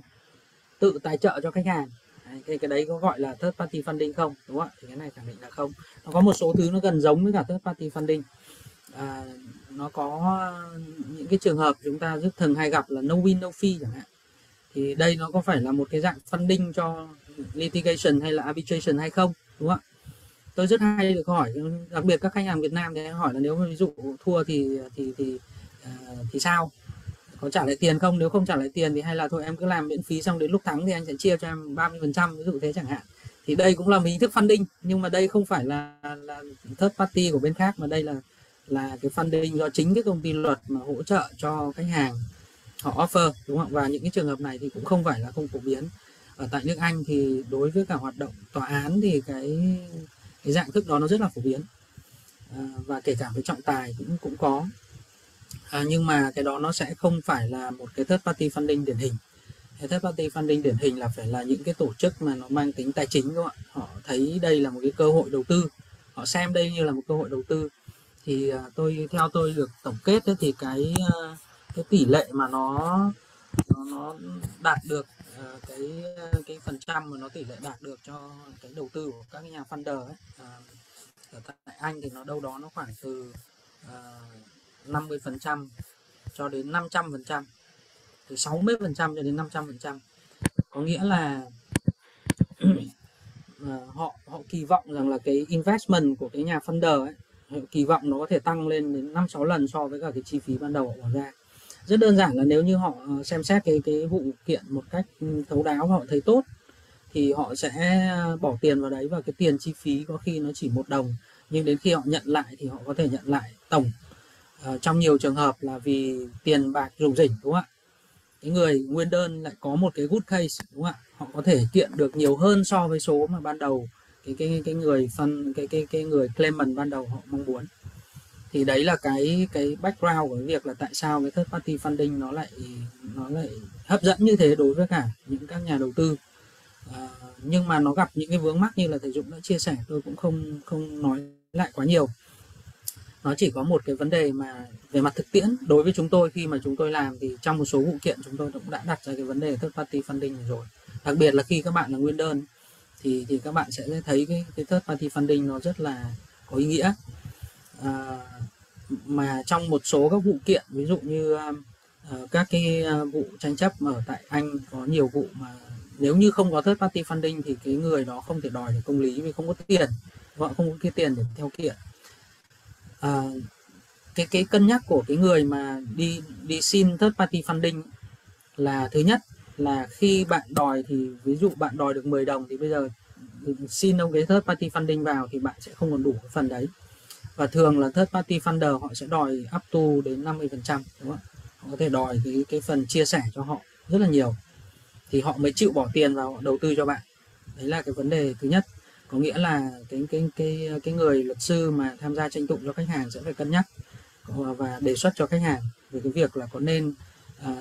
làm thất party funding không dựa vào cái tài chính của khách hàng. Vấn đề thứ hai mà họ cần phải xem xét và phần cân nhắc là anh sẽ đưa cho uh, cái người funder ấy, thông tin đến đâu. Thế cái cái ca đầu tiên mà chúng tôi muốn uh, xin cái third party funding để cho khách hàng là chúng tôi uh, uh, có liên hệ với cả một cái funder tại Singapore. Thì uh, khi liên hệ với họ thì họ bảo là hãy gửi cái briefcase ra đây. Xong rồi sau đó thì họ sẽ xem xét và họ thiếu cần thêm cái thông tin gì thì họ sẽ hỏi. Thế thì câu hỏi đặt ra là trong cái quá trình làm như vậy thì chúng ta cho họ thông tin bao nhiêu? Cái này nó hơi khác với lại cái phần confidentiality mà cái disclosure của chỗ anh Dũng một tí. Là cái disclosure này là cái công ty đó sau khi đã quyết định thuê funder rồi thì sẽ uh, thông báo cho tòa như thế sẽ thông báo cho hội đồng trọng tài như thế nào? Sẽ thông báo bao nhiêu đúng không ạ? Thông báo đủ thông tin hay là chỉ cần thông báo tên của funder với lại cái cái fact là tôi đang được funded bởi cái ông đó đúng không thì nó không cần các cái thông tin gì khác. Nhưng còn giữa uh, chúng ta là cái bên đi uh, theo kiện ví dụ như là claimant với cả cái người third party funder thì nó phải có một cái uh, cái cơ chế để mà chúng ta đủ cung cấp cho người ta đủ thông tin. À, và đủ cái tính tin cậy để người ta có thể xác định được xác minh được đúng là cái cái cái cái mức độ của uh, cái vụ kiện này nó có thể thành công được hay không. Thì nó có hai cái uh, cái cái cái cái điểm struggle mà người funder mà cái người người claimant họ sẽ phải phải phải cân đối. Thứ nhất là khi mà anh đưa rất là nhiều thông tin cho họ nó giống như kiểu là anh cởi áo cho người xem lưng đúng không ạ? Vụ kiện nó hơn nó tốt hay không tốt như nào là anh phải chia cho người ta xem hết đúng không ạ? Thế nhưng ngược lại thì anh cũng rất là muốn người ta người ta cung cấp cho anh cái funding cho nên là nhiều khi anh cũng cũng không muốn đưa hết mà anh chỉ muốn đưa những cái gì tốt thôi. Ví dụ cái thời điểm đấy chúng tôi cứ tranh cãi nhau là bây giờ cái, cái vụ kiện này mình có đưa ra cái thông tin gì hay là mình đưa hết hay là mình nên chỉnh sửa lại để cho nó hay hơn để cho người funder người ta à, cho mình các cái à, funding nhưng sau đó thì turn out ra có thể vụ kiện nó không tốt như là người ta tưởng tượng. Đấy thì đấy là một cái vấn đề ethics. Mà vì những cái vấn đề như vậy cho nên người ta đã phải tạo ra một số các cái hệ thống à, nó có những hệ thống private riêng của từng các funder cũng như là các cái quỹ và có những cái hệ thống chung à, những cái hệ thống mà để, để quy định cái tiêu chuẩn trong ngành. À, đối với cả third party funding để họ cung cấp cho cho, tức là họ họ yêu cầu những cái tiêu chuẩn gì, tiêu chí gì đối với cả những người mà mà đòi cái third party funding để phục vụ cho cái vụ kiện của mình. Và vì vậy nên là nếu chúng ta rơi vào một cái hoàn cảnh mà chúng ta tin rằng là chúng, khách hàng chúng ta không có tiền, ví dụ những trường hợp chúng tôi làm cho Clement một số khách hàng Việt Nam họ cũng rất quan tâm đến cái third party funding này à, thì nó cũng thì chúng ta phải xem xét xem là cái tiêu chuẩn cái bộ tiêu chí của những cái cái à, funder nào nó phù hợp với chúng ta. Và chúng ta đi tìm các funder ở đâu. Thì thực ra funder ở Việt Nam thì rất khó kiếm thì như anh Dũng nói là không có đúng không ạ? Không không tôi nhớ khoảng 2 năm trước thì có một cái quỹ họ cũng vào Việt Nam họ mang một cái quỹ rất lớn vào Việt Nam họ nghiên cứu họ xem xét xem là có phân được cho các cái uh, litigation uh, và arbitration Việt Nam hay không nhưng sau đó thì tôi không thấy nghe nói gì thêm về cái quỹ đó nữa. À, tôi tạm hiểu rằng là cái quỹ đó nó không được nó, nó không tìm thấy được thị trường tốt ở Việt Nam. Với cái lý do có thể cả về mặt pháp luật cả về các mặt khác. Thế nhưng ở nước ngoài thì bạn có thể rất dễ dàng bạn lên Google bạn search là bạn sẽ ra được những các cái quỹ rất là lớn và rất là nhiều các cái thông tin về họ ở Singapore hay là ở Hồng Kông hay là ở Anh. Thì các cái à, cái đơn vị này họ rất là chuyên nghiệp và họ sẽ cung cấp cho chúng ta thông tin cần thiết. À, nói tiếp đến những cái vấn đề tiếp theo mà liên quan đến third party funding thì uh, thầy Dũng lúc nãy có nói có có chia sẻ về một vấn đề là nếu như bây giờ uh, họ lúc đầu họ đồng ý trả tiền nhưng mà đến khi mà ra cái kết quả họ thấy bị thua đúng không ạ? Họ không họ quỵt họ không đưa tiền thì sao? Thì có làm gì được cái ông third party funder đấy hay không đúng không ạ? Thì thì uh, trên thực tế là đã có những vụ việc như vậy à, tôi điển hình là tôi có đơn cử cái vụ chắc là tôi chia sẻ với các bạn. Tôi uh, không có làm cái slide là bởi vì là cái slide nó nó nó bị trùng với cả thầy Dũng tương đối nhiều nên là tôi sẽ chỉ chia sẻ cái gì mà tôi thấy phù hợp thì chia sẻ thôi. À, vấn đề phân bổ trong cái um, chi phí tố tụng trọng tài. thì nó đặt ra một cái câu hỏi nó rất là quan trọng mà lúc nãy thầy Dũng có nói nhưng mà nó cũng chưa rõ thì tôi sẽ cung cấp thêm cái thông tin là trong một cái vụ kiện thì nó đặt ra vấn đề này là bên tài trợ họ bị ràng buộc bởi phán quyết của trọng tài hay không. Thì trọng tài rõ ràng là không thể nào mà à, áp đặt cái quyết định của mình lên một cái bên thứ ba được đúng không? Vì họ có một cái thỏa thuận với cả bên claimant chứ không phải là họ có thỏa thuận uh, trọng tài với cả bên còn lại. Đấy thế thì làm sao để mà enforce được làm sao mà để thi hành được cái này? Thì ờ, trong một cái vụ việc ở anh thì ờ, tôi ờ, đã đây cái vụ việc tên là Esa Oilfield thì trong cái vụ việc này thì trọng tài họ cũng order là cái thằng Elsa này phải trả chi phí mà bên Clement trả cho một cái bên third party funder thứ ba. Thế thì cái, cái câu hỏi đặt ra về mặt pháp lý là là làm thế nào để enforce được đúng không ạ? Thì cuối cùng là cái ờ, cái cái ờ, cái kết luận trong cái thời gian đó là là cái cái third party ờ, third party funder họ sẽ không bị ràng buộc bởi cái thỏa thuận trọng tài của các bên.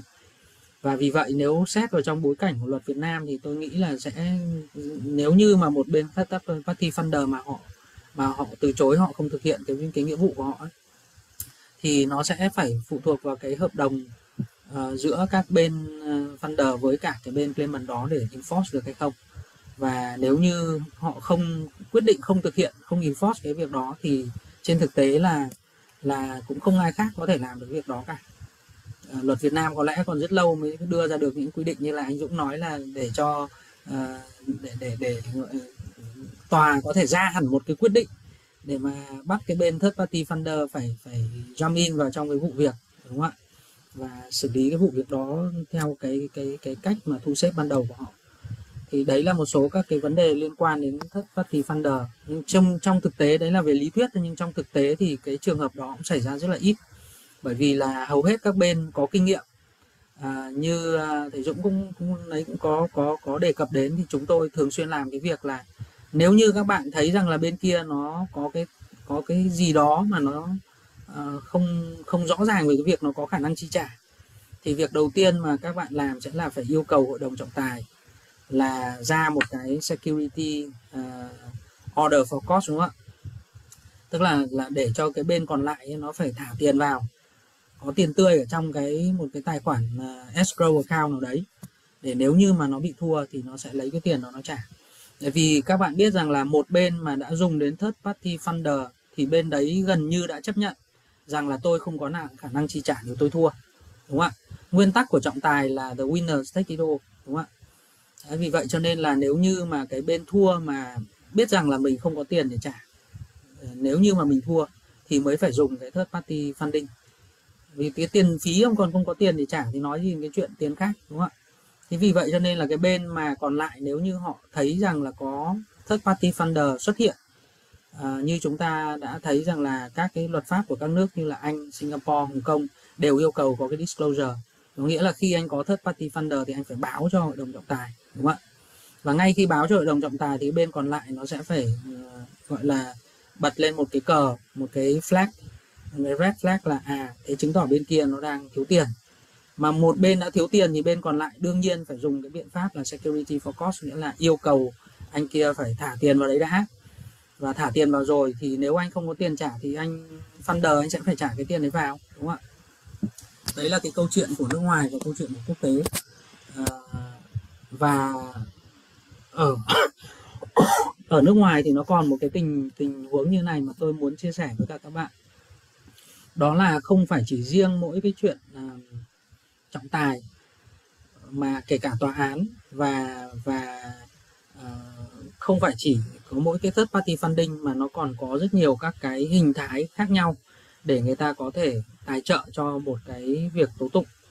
Ví dụ như là ở trong tòa án ở Anh thì nó có hai cái hình thức là hình thức uh, gọi là bảo hiểm uh, cho cái người bị thua. Tức là nếu như mà anh thua thì anh sẽ sẽ sẽ được công ty bảo hiểm chi trả cho cái phần mà anh thua hoặc là chi trả cho phần chi phí. Thì những cái đơn vị bảo hiểm này về nguyên tắc họ cũng là những cái người funder người ta phân cho cái cái cái ờ, nó, nó không hỏi nó không hẳn là funder nhưng người ta bảo bảo bảo đảm cho cái rủi ro của anh. Nếu như anh bị thua thì anh thay vì là anh phải trả tiền thì là người ta sẽ trả tiền giúp cho anh. Đấy. À, và những cái cái đó nó sẽ có những cái loại hình thức như là à, after the event uh, insurance tức là bảo hiểm gọi là sau khi nó xảy ra rồi và before the event insurance tức là bảo hiểm trước khi có cái vụ tranh trụng tranh tụng xảy ra những hình thức bảo hiểm như vậy nó sẽ đóng góp vào trong cái sự đa dạng của cái việc là funding cho các cái vụ kiện. Nếu như mà mình bị bị tham gia vào một vụ kiện, dù là với tuyên tư cách là nguyên đơn hay là bị đơn, thì mình đều phải có nhu cầu là là giống như là đảm bảo hoặc là giảm thiểu cái chi phí của mình khi mà mình tham gia vào tranh tụng, đúng không ạ? Thì chúng ta có thể thực hiện hoặc là bằng cái third party funding hoặc là bằng những các cái bên ờ, thứ ba khác như là các công ty bảo hiểm như vậy và ngoài cái bảo hiểm ra thì như tôi nói ngay từ đầu là chúng ta có ngay một cái loại funding nhưng mà không phải là thuần túy là third party, mà là funding của chính các công ty luật. Khi mà các anh chị thấy rằng cái cái cái case của mình là cực kỳ là mạnh và có thể chứng minh được cái case đó với cả công ty luật, thì rất nhiều các công ty luật họ sẵn sàng thực hiện một trong hai cách. Là một là success fee, là một cái hình thức là họ lấy một chi phí rất thấp. Ví dụ bình thường ra anh đi ra tranh tụng thì anh phải trả cho luật sư 100 đồng thì cái người luật sư này họ sẵn sàng họ chỉ lấy anh hiệu khoảng 50 đồng thôi. Nhưng mà bù lại nếu như mà cái tranh tụng nó thắng thì họ sẽ lấy lên gấp rưỡi hoặc gấp đôi tức họ sẽ lấy nhiều hơn.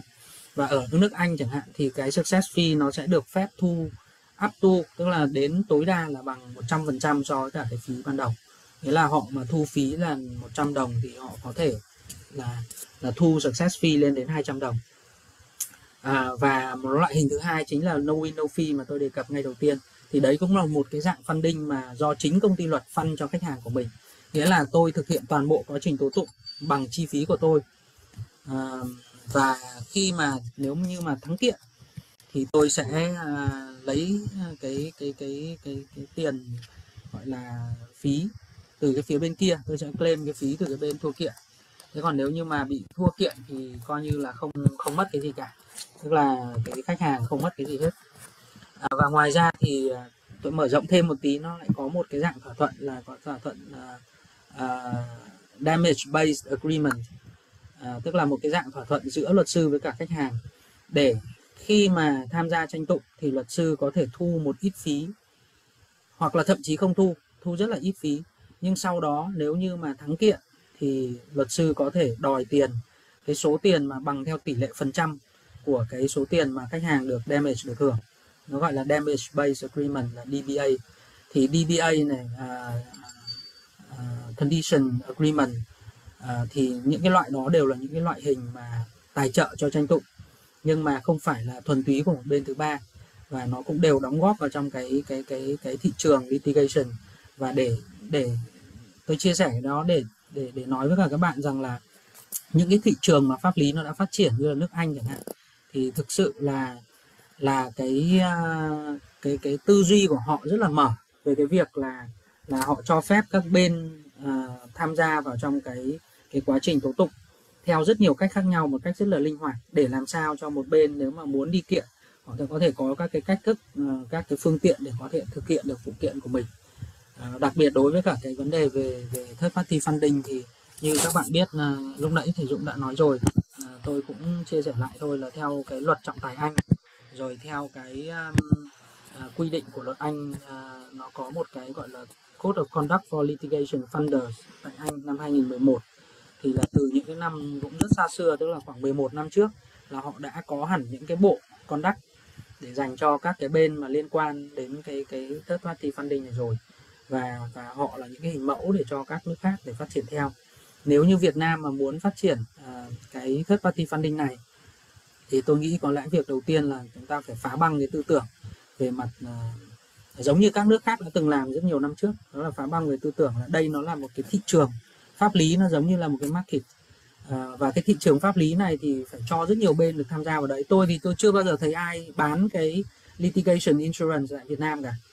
Uh, tôi cũng không biết là là nếu mua thì có thể đi mua đâu để mua. Thế nhưng mà ở nước ngoài thì những cái litigation insurance là rất nhiều đúng không ạ? Thế rồi các công ty luật ở Việt Nam thì rất phổ biến cái cái à, cái cái dạng success fee nhưng mà lại không có các cái hình thức khác và được regulated không không được cái pháp luật à, điều chỉnh một cách cụ thể. À, và cuối cùng là cái third party funding thì đúng như à, thầy Dũng đã đã đã nhận xét và chỉ ra là không không chúng ta cũng chưa biết có ở đâu cả. Và đến Việt Nam thì không biết là chúng ta sẽ đụng vào cái gì chúng ta sẽ làm như thế nào để để để để để biết được là nó được điều chỉnh ra sao thì kiểu gì thì chúng ta cũng phải có cách thức này nọ và có một cái điểm mà thầy Dũng chưa nói nhưng mà tôi cũng có cái nhận xét khi mà so sánh giữa cái tranh tụng tại Việt Nam và tranh tụng ở nước ngoài. Đó là à, nếu như chúng ta xét về trọng tài thì không có nhiều sự khác biệt. Trọng tài ở Việt Nam hiện nay đã quá quen với cả cái việc là winner take it all rồi đúng không ạ? Trong thuật ngữ trọng tài chúng ta gọi là cost follow the event. Trong luật không rõ ràng trong luật không nói về chi phí pháp lý và các chi phí khác. Nhưng mà uh, trong luật trọng tài thương mại thì họ chỉ nói là phí trọng tài thôi. Thì phí trọng tài hiểu là chi phí trả cho ông trọng tài chứ còn họ không nói là là là phí luật sư đúng không thế nhưng mà trên thực tế thực tiễn của VIAC và và và cái hoạt động chung của trọng tài Việt Nam thì vẫn cho phép là hội đồng trọng tài vẫn uh, allocate vẫn uh, phân bổ cái chi phí trọng tài bao gồm cả các phí luật sư và các cái chi phí khác như là chi phí chuyên gia là họ vẫn phân bổ cho bên thắng và phân bổ theo cái kết quả vụ kiện thì đấy là của trọng tài. Nhưng khi quay sang vấn đề về tố tụng mà không phải là trọng tài mà tố tụng tại tòa án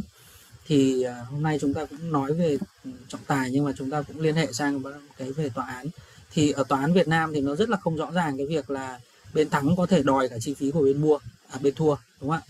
Tức là khi mà anh anh anh tham gia vào vụ kiện à, tòa án thì anh cũng phải mất chi phí luật sư anh cũng phải thuê các này nọ anh cũng phải thuê người làm chuyên gia hay là người làm uh, các cái cái cái ờ, này này kia. Thì những cái chi phí đó thì nó chưa có một cái ờ, cái cái ờ, rõ ràng uh, là cái chi phí đó có thể được được được bồi hoàn lại cho anh nếu như mà anh là cái người uh, anh là cái người thắng kiện. Và vì như vậy cho nên là cái third party funding nó nó có thể hoạt động được trong lĩnh vực trọng tài Việt Nam nhưng mà cũng sẽ khó để có thể uh, uh, được được mở rộng ra trong cái lĩnh vực litigation tức là tại tòa mặc dù là tại tòa thì chi phí tranh tụng cũng không phải là, là nhỏ đúng không ạ? Thì không biết là anh Dũng có cái uh, nhận xét gì thêm về cái này hay không? À, không thực ra là mình rất là là là là, là thú vị về cái nhận cái bổ sung của của Nam và thực sự là là cái những cái thực tiễn này nó nó rất là hay. Mình nghiên cứu về cái third party funding thì có những cái mà liên quan tới cái, cái, cái, cái thực tiễn ấy là đúng là là mình thấy là nam đã nêu lên rất là rõ và thực sự là nó rất là mang nó rất là là là uh, uh, có như là đúng vào cái quan điểm cái, cái gọi là những cái cái cái sự quan tâm của các bên tranh tranh, tranh tụng đó tức là bên nguyên đơn hay bên vị đơn họ có còn những cái concern gì và cách thức để mà giải quyết những đấy ở Việt Nam. Đấy, mình không có bổ sung gì thêm. Chắc là bây giờ mà, mà cũng mong các bạn có thể hỏi những cái câu hỏi cho cho mình và và và, và thầy Nam để chúng để chúng ta có thể là rõ hơn những cái những cái điều mà mà chúng tôi vừa trình bày.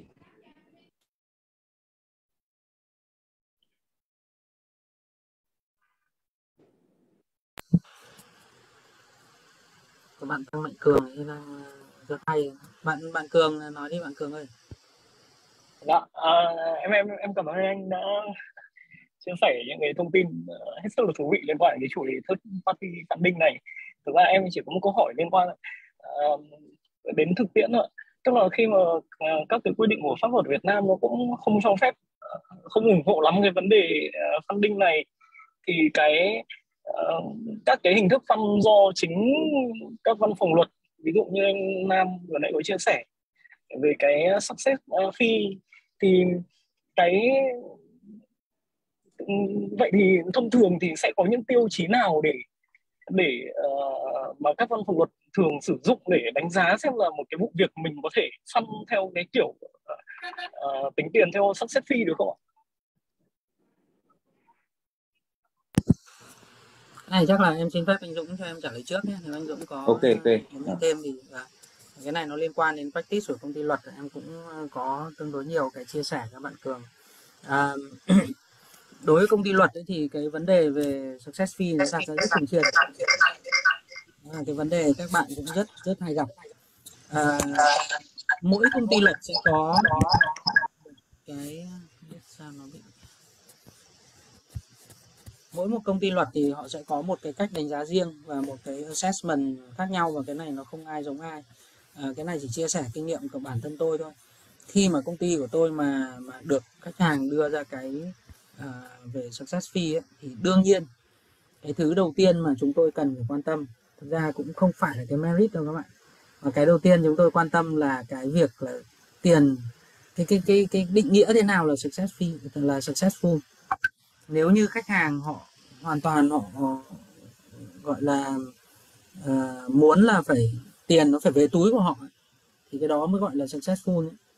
thì chúng ta phải xem lại hết cả một cái chuỗi từ cái lúc mà chúng ta đi tranh tụng cho đến lúc mà chúng ta lấy được tiền nó là bao xa đúng không? bao lâu bao xa thế còn nếu như khách hàng họ chấp nhận là à ta thắng một vụ kiện là coi như là ta thắng thì hai cái này là hai khái niệm khác nhau nếu mà cứ thắng kiện là thắng thì chúng ta ngay lập tức là cái câu tiếp theo câu chuyện tiếp theo chúng ta sẽ dở xem ra các cái hồ sơ tài liệu vụ kiện xem là chúng ta có dễ thắng hay không đúng không ạ?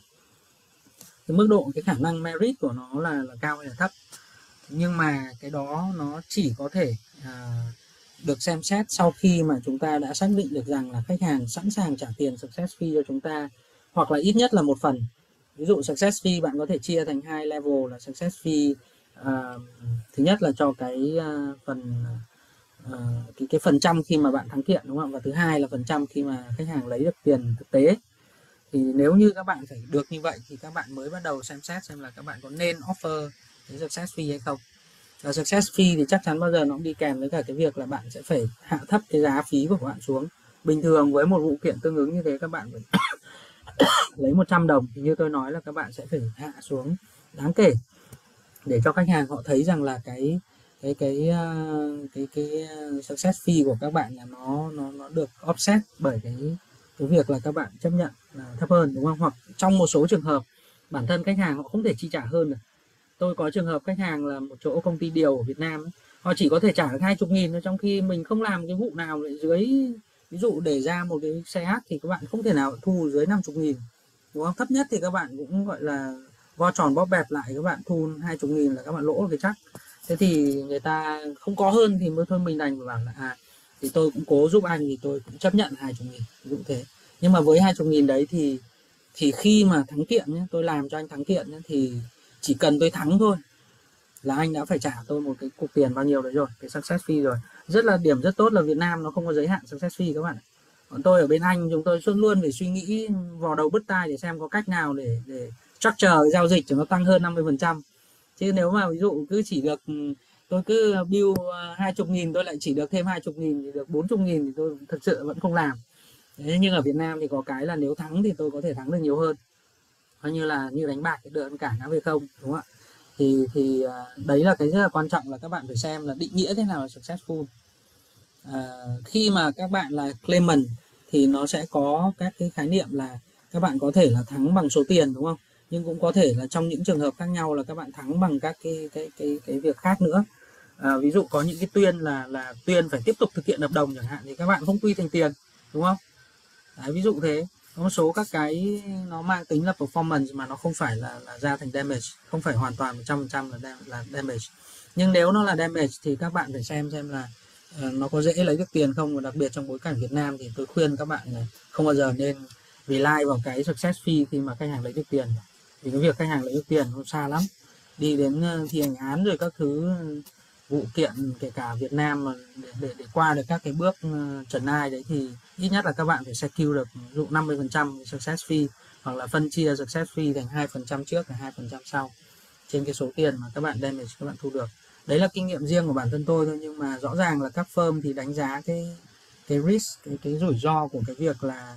là có thể không nhận được cái khoản đấy theo một cách khác nhau nhưng mà ai cũng hiểu rằng là successful nghĩa là các bạn gọi là làm cho khách hàng thắng. Nhưng quan trọng là định nghĩa thế nào là thắng đúng không ạ?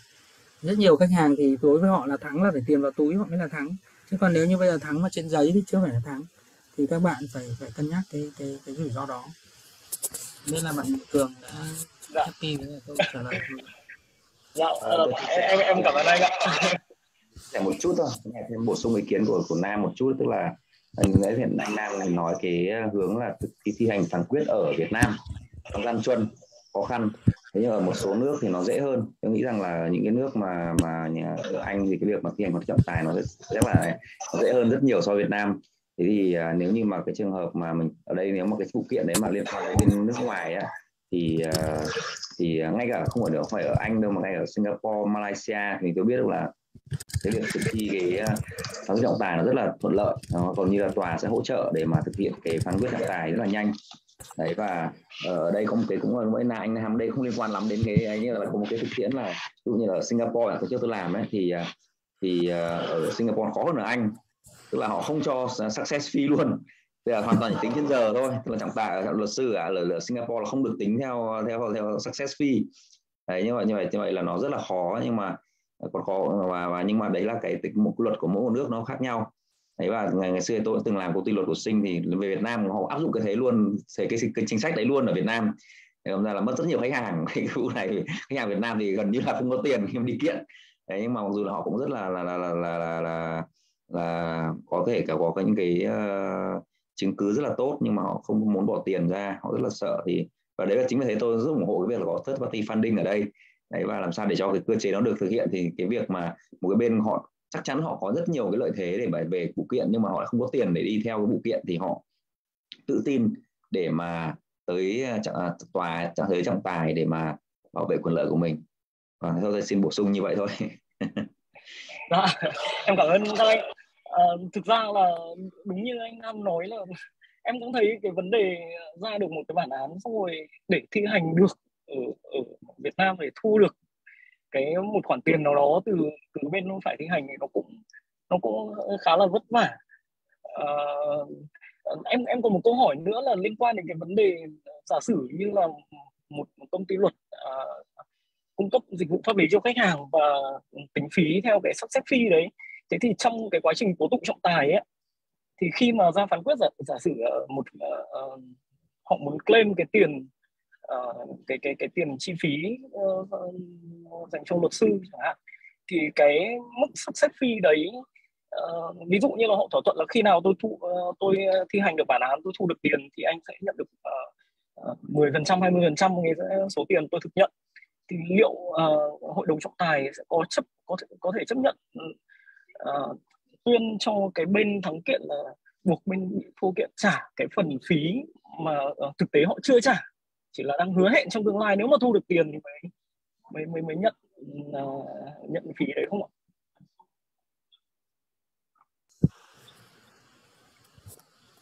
này anh Dũng uh, muốn trả lời không em trả lời trước. Cái này câu hỏi bạn phải nói thực sự câu hỏi rất hóc búa đấy. Bởi vì uh, nó đã gây đã gây rất nhiều tranh cãi về vấn đề này ở bên anh thì nó dễ hơn vì ở bên anh nó có sẵn luôn các quy định là là khi nào ông là success fee thì ông uh, được hay không được là nó thể hiện trong cái văn bản luật luôn này. Uh, nhưng mà tôi nghĩ đối với cả các cái um, như là trọng tài quốc tế chẳng hạn khi mà người ta cân nhắc cái việc đó thì thông thường người ta sẽ phải dựa trên cái nguyên tắc chung bởi vì cái này nó không không phải nằm trong luật của các nước mà nó khi thi hành nó cũng sẽ thi hành các nơi khác nhau thì thì cái người trọng tài viên ờ, hoặc là hội đồng trọng tài ấy tôi nghĩ là họ sẽ phải ờ, xem xét cái cái cái cái cái success fee nó giống như là một cái sự hợp lý hay không hợp lý, hay là cái tính reasonableness của của trọng tài. Ở Anh thì nó có hai cái criteria rất là là rõ ràng, là một là phải reasonable, đúng không ạ? Và thứ hai là phải proportionate thì những cái cái cái bài test đấy ấy, thì nó bất chấp là nó là là, là success fee hay không phải success fee. Đây tôi đang nói trọng tài nhé tôi đang nói ờ, về cái uh, tranh tụng tòa án. Thì dù success fee hay là không success fee thì cái quan trọng là cái chi phí đó khi mà đưa ra nó có đáp ứng được hai cái tiêu chí đấy không. Đấy, còn ờ, còn khi mà bạn chưa trả cái cái chuyện mà chưa trả xong rồi cứ đòi ấy, thì nó nhiều lắm tôi biết là thực tiễn ở Viac ấy, nếu mà chưa trả chưa có cái gọi là tiền tươi ấy, mà chỉ có là hứa với lại invoice viết là hầu hết các hội đồng trọng tài đều từ chối hết. Nó chưa phải là là, là chi phí thực. Đấy tức là nó không tiêu thực mà nó chỉ là gọi là ông kia ông bill như thế hoặc là nhiều khi là phím nhau là anh cứ bill tôi từng đấy tiền như để tôi đòi hội đồng trọng tài đúng không? Thì cái đấy ờ, những cái người trọng tài viên đặc biệt là ở Viac thì tôi biết là họ rất là cautious họ, họ rất cẩn thận ở trong cái việc đấy khi mà họ award các cái chi phí mang cái tính chất là như vậy. Bản thân tôi cũng tham gia một cái hội đồng trọng tài thì cũng đặt ra vấn đề đấy và và lúc đầu thì ý kiến tôi khác. Tôi thì tôi nghĩ chẳng cần invoice thôi. Sau khi tôi trao đổi lại với cả hai trọng tài viên còn lại thì các trọng tài viên cũng thuyết phục cũng, cũng thuyết phục được tôi là là à, loại bỏ cái chi phí đấy bởi vì nó chưa có cái căn cứ chứng cứ rõ ràng. Đấy, cho nên là là nếu các bên có những cái thỏa thuận mà cái thỏa thuận đấy nó chưa realize nó chưa được được gọi là ta hay gọi trong, trong tiếng Anh là liquidated. Khi mà nó đã, đã trả thành tiền hoặc là nó thành một cái khoản nợ rõ ràng rồi thì nó chưa liquidated thì sẽ sẽ khó để hội đồng trọng tài chấp nhận cái đó. Thì là cái quan điểm của tôi.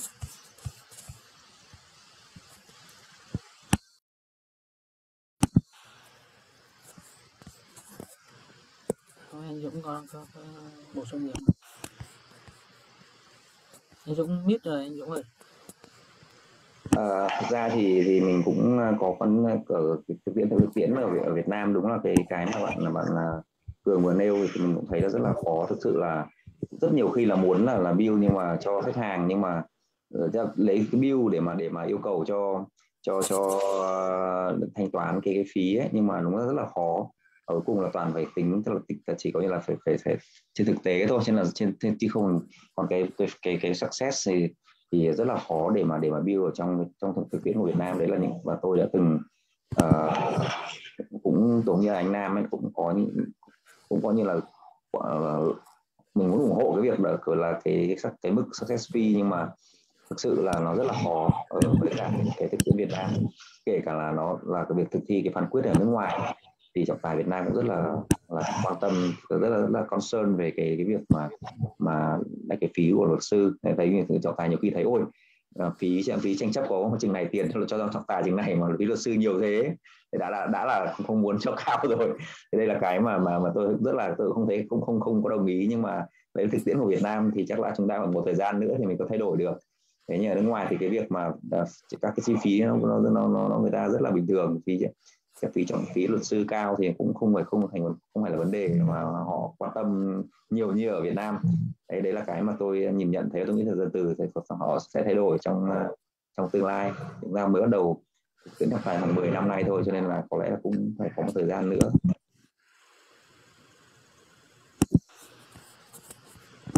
Tôi ờ, xin phép bổ sung thêm một tí nghe Dũng nói tôi mới nhớ ra là đối với cả bên Anh nhé thì trong tranh tụng ờ, bởi vì bên Anh tranh tụng trọng tài và tranh tụng tòa án là người ta, gọi là, mix với nhau, người ta lấy cái tranh tụng tòa án, người ta bảo là trọng tài cũng giống vậy. Thì ờ, cái, nó có hai cái loại của phí bill của luật sư là conditional fee arrangement là CFA thì cái CFA đấy thì có thể có thể bạn, các bạn claim được. Tức là các bạn có thể claim là là cái cái chi phí đấy là chi phí hợp lý. Tất nhiên nó vẫn phải đáp ứng các điều kiện là reasonable với lại proportionate nhưng còn cái chi phí của ờ, uh, DBA tức là damage based agreement thì các bạn không claim được. Các bạn sẽ sẽ sẽ không claim được của phía bên kia. Tức là khi nào mà được một khoản award thì các bạn cắt ra một cái phần tỷ lệ phần trăm thôi. Chứ các bạn sẽ không không đòi được cái đó của cái phía còn lại như là một cái phần của cost. Nói chung nước ngoài họ quy định khá là chi tiết và rất rõ ràng về những cái thứ đó. Còn Việt Nam chúng ta thì dù gì chúng ta cũng vẫn ở cái dạng là chúng ta cứ vừa làm chúng ta vừa uh, gọi là sử dụng các uh, giác quan khác nhau đúng không và bàn bạc để ra gọi là cái cái cái thống nhất. Thế cũng không không có cái gì để để để gai đinh hay là để, để chỉ thị cho cái việc của chúng ta hành xử với các cái chi phí đó như thế nào. À, tôi thấy có một câu hỏi của bạn Thảo. Có lẽ là chúng ta cũng khá là trễ rồi chúng ta bị bị uh, dài hơn so chương trình. Thì uh, chắc là Vân Anh uh, có thể chốt bằng câu hỏi cuối cùng bạn Thảo nhỉ? Dạ. dạ vâng. Thật ra thì ờ, ờ, trong cái, trong quá trình mà em ờ, tổ chức buổi talk show ngày hôm nay thì em cũng có gửi các cái link đăng ký và để cho các bạn đặt câu hỏi liên quan đến chủ đề buổi talk show thì có rất là nhiều những câu hỏi mà các bạn đã đặt ra cho cho hai vị khách mời tuy nhiên thì bởi vì là thời gian không có nhiều và chắc là các bạn ý đã đặt câu hỏi rồi các bạn ấy không chat phần chat zoom nữa nên là chắc là mình sẽ chỉ chốt với câu hỏi của bạn Thảo thôi, đúng không anh? Dạ, nếu mà anh Dũng mà không ấy thì một hai câu hỏi thôi nói chung okay. là để anh Dũng anh ngủ sớm thì cuối tuần. Không thì nếu mà câu hỏi thì mình nghĩ là có những câu hỏi thì mà các bạn nghĩ là nếu mà chúng ta đến đây làm rõ hơn cái vấn đề này thì em Dũng anh thấy có nhiều câu hỏi là bao nhiêu câu hỏi? Thì ờ, mấy chục câu không? Dạ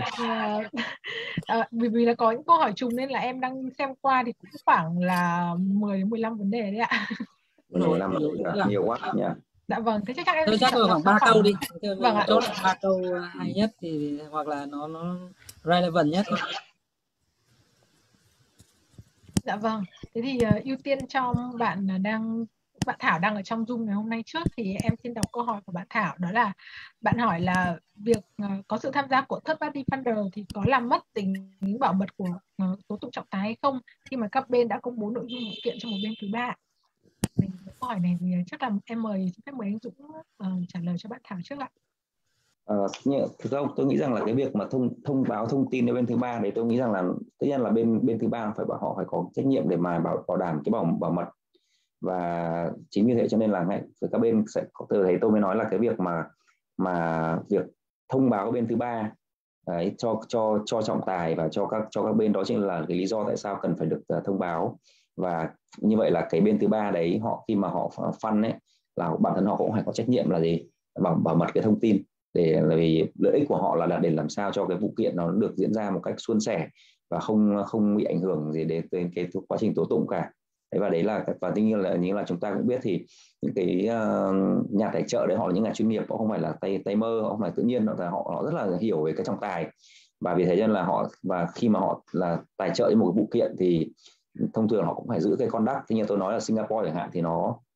cái cái cái nó nó đưa vào cái quy định của cái ờ, code conduct của professional uh, legal profession. Thì họ coi những người những người mà là mà mà tài trợ đấy là vào cái vào cái nhóm đấy luôn. Thì như vậy là tôi thấy rằng là đây đây là cái điều mà chúng và tôi và thế tôi rất ủng hộ cái việc là phải chúng ta phải quy định rõ ràng thì nó sẽ bảo vệ được ờ, các các cho quyền lợi các bên cũng như là cái về mặt luật cũng như là về cái trẻ về về cái mặt thực tiễn trong quá trình giải quyết tranh chấp Dạ vâng ạ, em cảm ơn anh Dũng. Ờ, ừ, chắc là câu hỏi này thì anh Nam có, có có cần phải chia sẻ hay là cần trao đổi thêm không thì em sẽ Dũng trả lời đã chính xác rồi, không có cái gì cả. Nói chung là giáo sư trả lời chỉ có chuẩn. Không, cảm ơn anh. dạ vâng ạ, thế thì để tiết kiệm thời gian thì em xin phép uh, chuyển sang một câu hỏi khác ạ. Um, có một bạn uh, đã gửi uh, khá là ba vấn đề hai vấn đề liên quan đến buổi talk show ngày hôm nay thì em xin phép đọc luôn cả hai vấn đề đấy rồi uh, sẽ mời các uh, khách mời của buổi talk show trả lời ạ. Uh, thứ nhất là bạn hỏi là việc nguyên đơn được tài trợ bởi bên thứ ba có thể ảnh hưởng như thế nào tới quyết định phân bổ chi phí trong vụ kiện trọng tài. Và thứ hai đó là từ góc độ của một bên trong tranh chấp thì cần lưu ý những vấn đề gì khi cân nhắc việc nhận tài trợ của bên thứ ba? Câu câu thứ nhất là gì? Là nếu như có bên thứ ba tài trợ thì nó nó ảnh hưởng thế nào nó sẽ ảnh hưởng đến quyết định phân bổ chi phí trong vụ kiện trọng tài như thế nào ạ? À, tôi ờ, thực ra này tôi cũng uh, tôi nghĩ rằng là nó không ảnh hưởng nó chẳng ảnh hưởng gì cả à, theo cá nhân đấy từ từ thành nam bổ sung tôi thấy là nó không ảnh hưởng hết bởi thực ra bên thứ ba này họ họ không nhìn lại như tôi anh giới thiệu ban đầu là họ không phải là bên tranh chấp. Họ họ chỉ là bên tài trợ cho bên tranh chấp thôi. Thực ra thì cái mà tôi, tôi nghĩ là cái mà trên thế giới hiện nay người ta tranh, hay tranh cãi nhiều nhất ấy thì không và chỉ là không phải là ở cái tranh chấp thương mại mà nó rồi xảy ra tranh chấp đầu tư. Thế thì cái vụ tranh chấp đầu tư giữa nhà nước và nhà đầu tư nước ngoài á thì cái bên tài trợ thông thường là nó tức là vì là cái bên bên bên kia là chính phủ. Thế thì và cái cái cái và chính phủ họ thường họ dùng những biện pháp khác nhau chính trị rồi ngoại giao rồi các công cụ khác nhau để họ bảo vệ cái quyền lợi cái quyền quyền của nhà nước quyền chủ quyền nhà nước. Chứ còn tôi thấy thực, thực tiễn mà tôi nghiên cứu và tôi biết thì cái à, cái việc mà cái tham gia của cái ờ, third party này funding nó không ảnh hưởng gì tới cái cái việc chia chia cái cái, cái, cái thay đổi cái phí của cho các bên cả đấy, là cái, cái gì tôi biết không biết là anh Nam có có cái, cái thực tiễn khác không nhưng mà tôi thấy tôi thấy như vậy. Um, cái này thì hoàn toàn nhất trí với cả ừ, phó giáo sư Trần Việt Dũng là không không thể uh, nếu như nếu như mà nó có ảnh hưởng đến đến quyết định hội đồng trọng tài thì chắc là mấy ông third party funder thì chắc đi hết không còn ai được được được đi funding nữa cả. Cho nên là, là là về mặt bản chất nó phải không nó phải không ảnh hưởng thì mới được à, cái đấy là cái nó rất rõ ràng và trong các cái cốt thì nó đều quy định rõ ràng như vậy. Nó, nó cái việc funding mà nó đấy chính là cái điều người ta lo sợ nên người ta mới phải làm ra các cái cái cái bộ code of conduct để đảm bảo là cái, cái việc đó nó không ảnh hưởng đến quyết định cuối cùng của hội đồng trọng tài đúng không ạ? Dạ vâng, à, em sẽ đọc lại câu hỏi ờ, thứ hai ạ để cho anh Nam cũng như là thầy Dũng sẽ trả lời cho các bạn. Đó là bạn hỏi là từ góc độ của một bên trong tranh chấp thì cần lưu ý những vấn đề gì khi cân nhắc việc nhận tài trợ từ bên thứ ba? Cái này như tôi trả lời rồi. Cái này trong cái bài tôi tôi nói rồi. À, cho nên có lẽ là không nên nhắc lại. Thì bạn xem còn một cái câu hỏi nào khác nữa dạ vâng ạ. Thế thì câu này rõ ràng tôi đã chia sẻ rất kỹ rồi. Vâng. dạ vâng ạ. Vậy thì em xin phép chuyển sang một câu hỏi khác ạ. À, có một bạn bạn hỏi về việc là uh, chúng ta cần lưu ý gì cho Việt Nam khi mà các bên Việt Nam soạn thảo và đàm phán các điều khoản về tài trợ của bên thứ ba trong hợp đồng ạ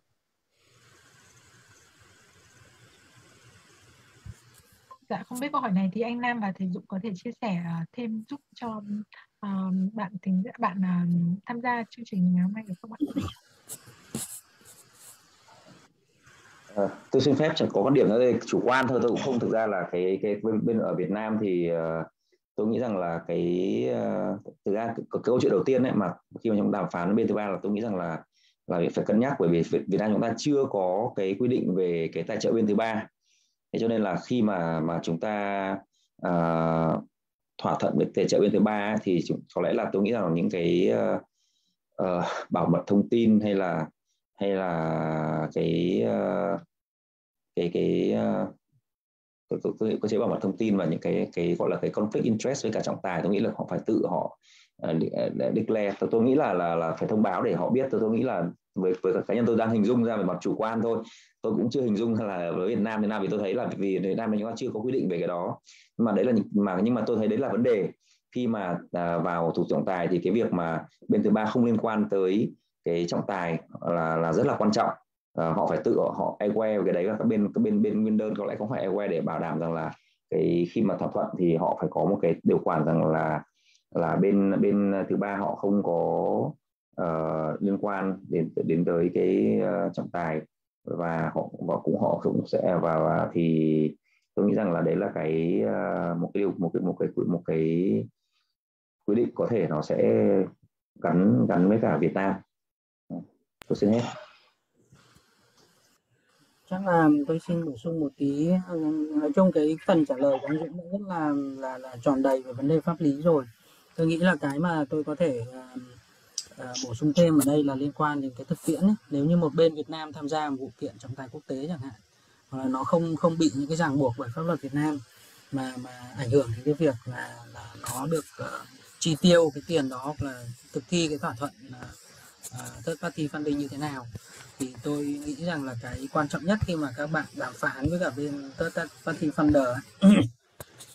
đó là cái phân định cái cái um,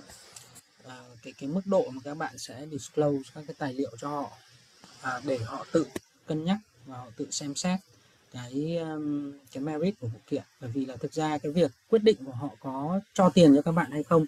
là nó dựa vào cái uh, cái, cái merit đúng không ạ? Và cái quan tâm tức là cái cái cái bạn có thể thắng điện được không và nếu thắng thì thắng được bao nhiêu đúng không ạ? Còn nếu đã thắng rồi thì có thể chia nhau cái số tiền đấy là chuyện rất là đơn giản đúng không ạ? À, và thứ hai nữa là các bạn phải đảm bảo rằng là cái uh, cái cái cái việc mà mình cung cấp thông tin ấy, nó không tạo ra một cái mối ràng buộc uh, như là người ta hay gọi là uh, representation uh, warranty. Không tạo ra một cái mối ràng buộc là các bạn đã cam kết với họ về những cái thông tin này và cái mức độ gọi là uh, rất là uh, rất là tốt của cái vụ kiện. Làm sao để họ phải có mà trên thực tế thì họ đều có cả.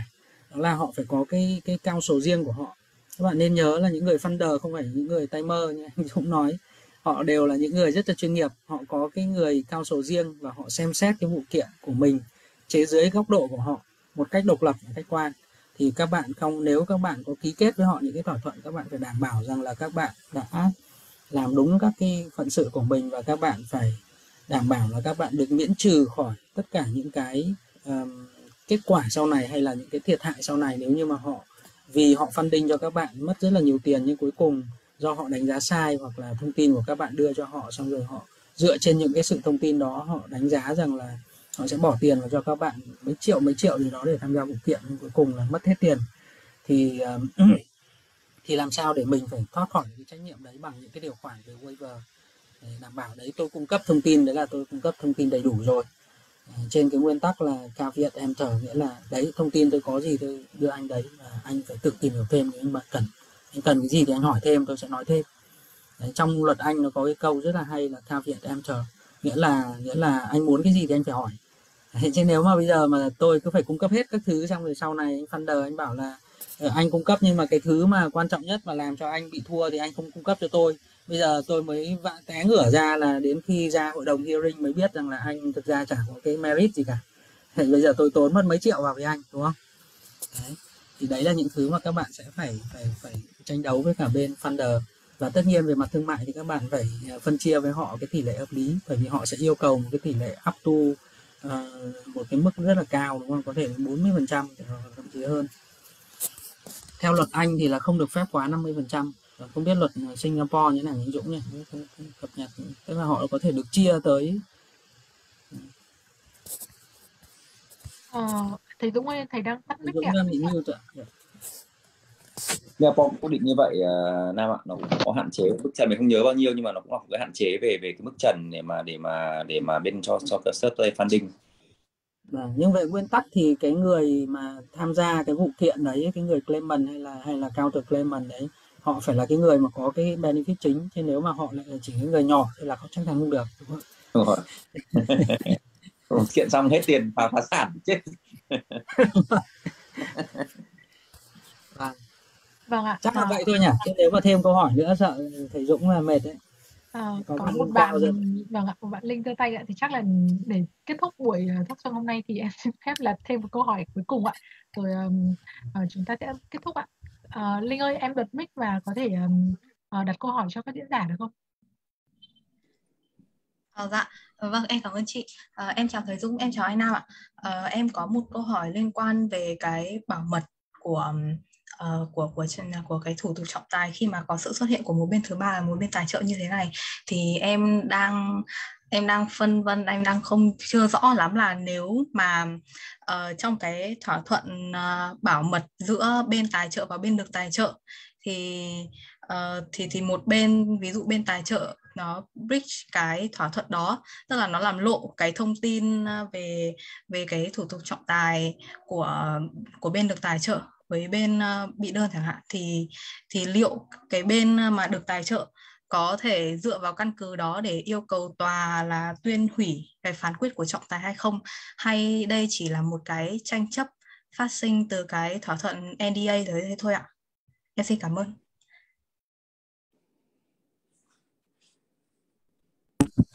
Câu hỏi khó này thì chắc là chỉ nhờ thầy Dũng phó giáo sư giải quyết. Nghe thì cũng nhức đầu phết thì giáo sư. À, cũng tôi cũng chưa chưa thực ra là cũng chưa chưa nghĩ tới cái vấn đề nhưng mà tôi nghĩ về logic thôi. Tôi nghĩ rằng là ở đây thì cái cái uh, uh, nếu họ bridge thì tôi nghĩ là khi mà khi mà mà mà bên về pháp lý nếu mà nếu theo quan điểm của tôi á, thì là nếu như mà mà cái cái tức là khi mà họ nhận họ nhận tài trợ thì họ cũng họ họ- cái tức là họ sẽ cũng có, có tức là cái trách nhiệm của họ đối với bảo mật thông tin nó sẽ giống như là bên bên bên nguyên đơn theo quan tôi nghĩ như vậy và và cái bên cạnh cái đó thì những những nước nào mà họ mà họ đã quy định về trách nhiệm mà của tức là những quy định trong luật đấy thì họ sẽ quy định về cái uh, uh, cái gọi là cái cái trách nhiệm nếu mà ờ, mà tức là về damage đối với cả cái tức là những cái những, những cái ôi tôi chết rồi cái bên tôi xin lỗi bên mọi người có nghe không nhỉ? Bên nhà tôi mất điện nên là mạng nó. Alo? Alo? Dạ vâng ạ. Ừm, mọi người vẫn nghe Ờ. thấy anh ạ. Dạ. ok may quá. Chắc là nó chuyển sang à, 4G mà vẫn nói chuyện được. Tôi nghĩ rằng là cái ở đây cái cái à, tôi nghĩ rằng là khi mà bên mà nếu nếu như mà bên bên tài- trợ mà làm lộ thông tin thì à, tôi nghĩ rằng là cái cái đấy nó sẽ là quan hệ tức là nó, nó sẽ bên bên bên được tài trợ có thể tôi nghĩ là có họ có thể là sẽ uh, có một cái uh, uh, tranh, tranh chấp với yêu ờ, với cả bên cái bên bên bên bên bên bên tài trợ đó. Thế còn bản nhưng mà về với đối với cả đối với bản thân đến vụ kiện thì cái trách nhiệm bảo mật thông tin sẽ là nó sẽ là gắn liền với cả ờ, cả cái bên nguyên đơn cũng, ờ, và đi được đồng cùng với cả bên bên bên tài trợ là giữ bảo mật thông tin. Đấy, còn thế có tôi nghĩ là như vậy. Thì à, cũng không biết là nó có nó nó nó, nó anh anh Nam có có có cái quan điểm gì ờ, về vấn đề này không? cái này về mặt lý thuyết thôi thì anh Dũng cũng đã giải đáp rồi nhưng tôi nghĩ về mặt thực tế nó sẽ có rất khó xảy ra. Bởi vì cái bên mà họ đã tài trợ thì họ có cái lợi ích sát sườn với cả cái bên Clement đúng không ạ? Cho nên họ có lợi ích sát sườn thế thì không có lý do gì để họ tự nhiên họ đi disclose cái thông tin làm gì cả đúng không ạ? Cái việc mà họ, họ, họ gọi là tự họ lại đi làm, gọi là tự bắn vào chân mình như thế là nó rất rất khó xảy ra. Còn nếu nó đã xảy ra thì về nguyên tắc equity thì chắc hội đồng trọng tài cũng sẽ xét xử theo cái cách như anh Dũng vừa phân tích thôi. Chứ không tự nhiên họ lại đi đi claim cái bên nào khác để làm gì cả. Thì hai anh ấy có cái thỏa thuận non disclosure agreement thì thì nó gây ra hậu quả gì thì các anh xử lý hậu quả đến đó, đúng không ạ? Và sẽ giải quyết tranh chấp theo cái thỏa thuận đó. Chứ còn nó không làm ảnh hưởng đến cái kết quả của cái phán quyết của hội đồng trọng tài tôi nghĩ ờ, cũng cũng, cũng không có gì quá phức tạp ở đấy vâng. Dạ vâng, em cảm ơn ờ, thầy và em cảm ơn anh ạ. Ờ, em em nghĩ là nếu mà em muốn làm phức tạp hóa mọi chuyện lên, em có thể dựa vào là uh, cái thủ tục trọng tài này nó đã vi phạm các nguyên tắc cơ bản của pháp luật dân sự.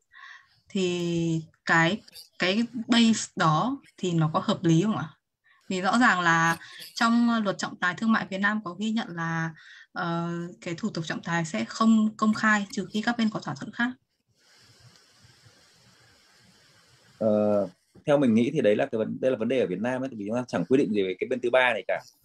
cho nên là là nếu như là vì thế nên là cái cái rủi vì thế như là anh Nam nữa có nói ấy, là cái khi mà cái bên ờ, có những cái bên tài trợ thứ ba họ vào nghiên cứu thị trường Việt Nam xong rồi họ lại đi bởi vì là họ thấy không an toàn. Đấy, những trường hợp như vậy thì tôi nghĩ rằng là là, là đấy chính là thực, thực, thực, thực tế của Việt Nam hiện nay. Còn đúng như ở và và thực sự là ở Việt Nam hiện nay thì cái, cái việc mà cái uh, phá tức cái, cái tức là nếu một bên cố tình phá thì họ có thể có rất nhiều cách để phá. Và cái uh, và cái bởi vì luật không quy định rõ ràng. Đấy và cho nên là cái tòa án rồi các cơ quan họ đều thể can thiệp để họ họ là, là làm ảnh hưởng tới cái thủ tục trọng tài và như vậy thì nó không an toàn cho bên tài trợ bên thứ ba chính vậy nó cũng không có quá mặn mà với cả cái thị trường Việt Nam thế thì tôi tôi cái, cái, cái, cái quan điểm của tôi nó sẽ, nó sẽ là như vậy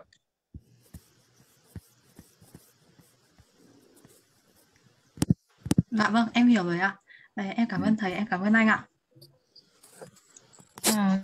cảm ơn bạn Linh đã uh, đặt ra câu hỏi rất là hóc búa để um, để cho mọi người cũng có cái nhìn ờ, là sâu sắc hơn và chi tiết hơn về ờ, vấn đề tài trợ của bên thứ ba. À, thật sự thì cái vấn đề về topic về chủ đề của talk show ngày hôm nay quá là mới mẻ và chính điều đó đã khiến cho rất nhiều những bạn tham gia chương trình ngày hôm nay đã đặt rất là nhiều câu hỏi đến và bản thân Vân Anh là người trực tiếp là làm việc và dẫn dắt buổi talk show ngày hôm nay cũng rất mong muốn có những câu hỏi dành cho anh Nam và thầy Dũng. Tuy nhiên thì Ờ, rất là tiếc khi mà thời lượng của buổi talk show này chỉ có khoảng một tiếng thôi và bây giờ cũng đã quá 44 phút rồi. Nên là ừ, chắc là chúng ta sẽ đành phải à, tạm dừng cái buổi uh, trao đổi về ờ, vấn đề tài trợ của bên thứ ba này ở tại đây. Và uh, trước khi mà chúng ta kết thúc cái buổi talk show này thì um, uh, mình là đại diện cho ban tổ chức của VAP cũng có chia sẻ thêm một chút về uh, khóa học sắp tới mà VAP tổ chức. Uh, đó là khóa học đó là khóa học nâng cao về trọng tài Việt Nam và trọng tài quốc tế do VF tổ chức và sẽ được khai giảng vào ngày 24 tháng 4 năm 2022 và ở khóa học này thì um, tất cả các bạn học viên khi mà chúng ta tham gia khóa học ừ, nâng cao thì chúng ta sẽ có yêu cầu là chúng ta phải làm một bài test đầu vào. Và nếu mà các bạn vượt 50 trên 100 số, trên trên tổng số điểm là 100 thì các bạn sẽ được coi là đã hoàn thành ờ, cái yêu cầu đầu vào của bài test và các bạn sẽ ờ, được tham gia lớp ờ, khi mà các bạn hoàn thành học phí. Và để mà đăng ký khóa học này thì các bạn vui lòng là chúng ta sẽ vào fanpage của ad của Viap và chúng tôi đã lưu cái thông tin đăng ký tuyển sinh trên trang fanpage của Viap rồi. Nên là các bạn hãy vui lòng xem thông tin chi tiết và các bạn đăng ký khóa học ngay nhé bởi vì khóa học này thì uh, chúng ta cũng sẽ được um, trực tiếp uh, thầy Dũng và anh Nam là những giảng viên vô cùng kỳ cựu và vô cùng uh, có nhiều kinh nghiệm về lĩnh vực trọng tài sẽ giảng dạy trực tiếp cho các bạn và cũng sẽ truyền cho các bạn những kinh nghiệm và những chia sẻ rất là bổ ích về lĩnh vực trọng tài. À, chính vì vậy mà nếu mà chúng ta quan tâm đến khóa học nâng cao của VH trong thời gian tới thì các bạn hãy um, vui lòng xem trên fanpage và trên website của VH để chúng ta có những thông tin và đăng ký khóa học ngay lập tức các bạn nhé. À, còn bây giờ thì uh, thời lượng của buổi talk show ngày hôm nay đến đây là hết rồi. Uh, xin cảm ơn uh, phó giáo sư tiến sĩ Trần Việt Dũng cũng như là luật sư Nguyễn Trung Nam đã bớt thời gian uh, buổi tối uh, thứ sáu cuối tuần để uh, tham gia cùng với uh, VF ngày hôm nay và cũng xin cảm ơn tất cả các bạn uh, tham gia đến tận bây giờ. Uh, hiện tại trên Zoom chúng ta có 14 bạn và trên livestream của chúng ta thì đang có 15 bạn và rất là cảm ơn các bạn đã uh, đến tận thời phút này vẫn theo dõi và vẫn xem vẫn uh, ủng hộ cho những sự kiện của VF và hy vọng rằng là chúng ta sẽ uh, đồng hành và VF sẽ đồng hành cùng với các bạn và sẽ cung cấp cho các bạn những kiến thức uh, những bổ ích và ở trong những cái buổi talk show sắp tới và các bạn đừng quên là follow trên trang fanpage của VF để cập nhật những cái thông tin những sự kiện và những cái buổi talk show VF hàng tuần vào mỗi buổi tối thứ sáu còn bây giờ thì uh, xin không biết là thầy Dũng và anh Nam có muốn nói gì trước khi mà chúng ta chia tay buổi talk show ngày hôm nay không ạ? À, rất cảm ơn tôi, anh Dũng cảm ơn uh, mọi người. Tôi rất là vui là cái buổi talk show này là có sự quan tâm của các bạn và tôi hy vọng là các bạn sẽ cũng sẽ quan tâm tới các cái chủ đề mà VApp sẽ à, sẽ à, sẽ tự các talk show của VApp cũng như tham gia khóa học của VApp thế thì uh, và một cái nữa tôi thì đây hơi ngoài lề một chút tức là sắp tới thì bên uh, kho luật đại học luật ở đầu thành phố Hồ Chí Minh ấy cũng sẽ tổ chức một hội thảo tôi nghĩ là rất là hay về cái chủ đề bên thứ ba không chỉ là tài trợ bên thứ ba mà tất cả bên thứ ba và tôi cũng uh, hạnh là vinh dự được mời được uh, anh Nam tham gia thì nếu các bạn quan tâm thì chắc là đầu tháng tư các bạn có thể lên trên các cái trang ở trên Facebook của khoa luật quốc tế thì cũng sẽ có một cái hội thảo uh, rất là hay về cái chủ đề bên thứ ba à, của trong trọng tài thương ngoại quốc tế. Uh, sẽ mời cả các chuyên gia nước ngoài tham gia cùng nữa. Thì uh, tôi nghĩ rằng là cái những cái hoạt động này giúp chúng ta có những kiến thức nhiều hơn về trọng tài và sẽ giúp cho cộng đồng trọng tài phát triển. À, chúc tôi mong các bạn sẽ luôn luôn đồng hành cùng với VF cũng như là có sức khỏe để mà tham gia vào các cái vụ phụ kiện và các cái bảo vệ quyền lợi của của các cái khách hàng của mình thật là tốt. Rồi như vậy thôi.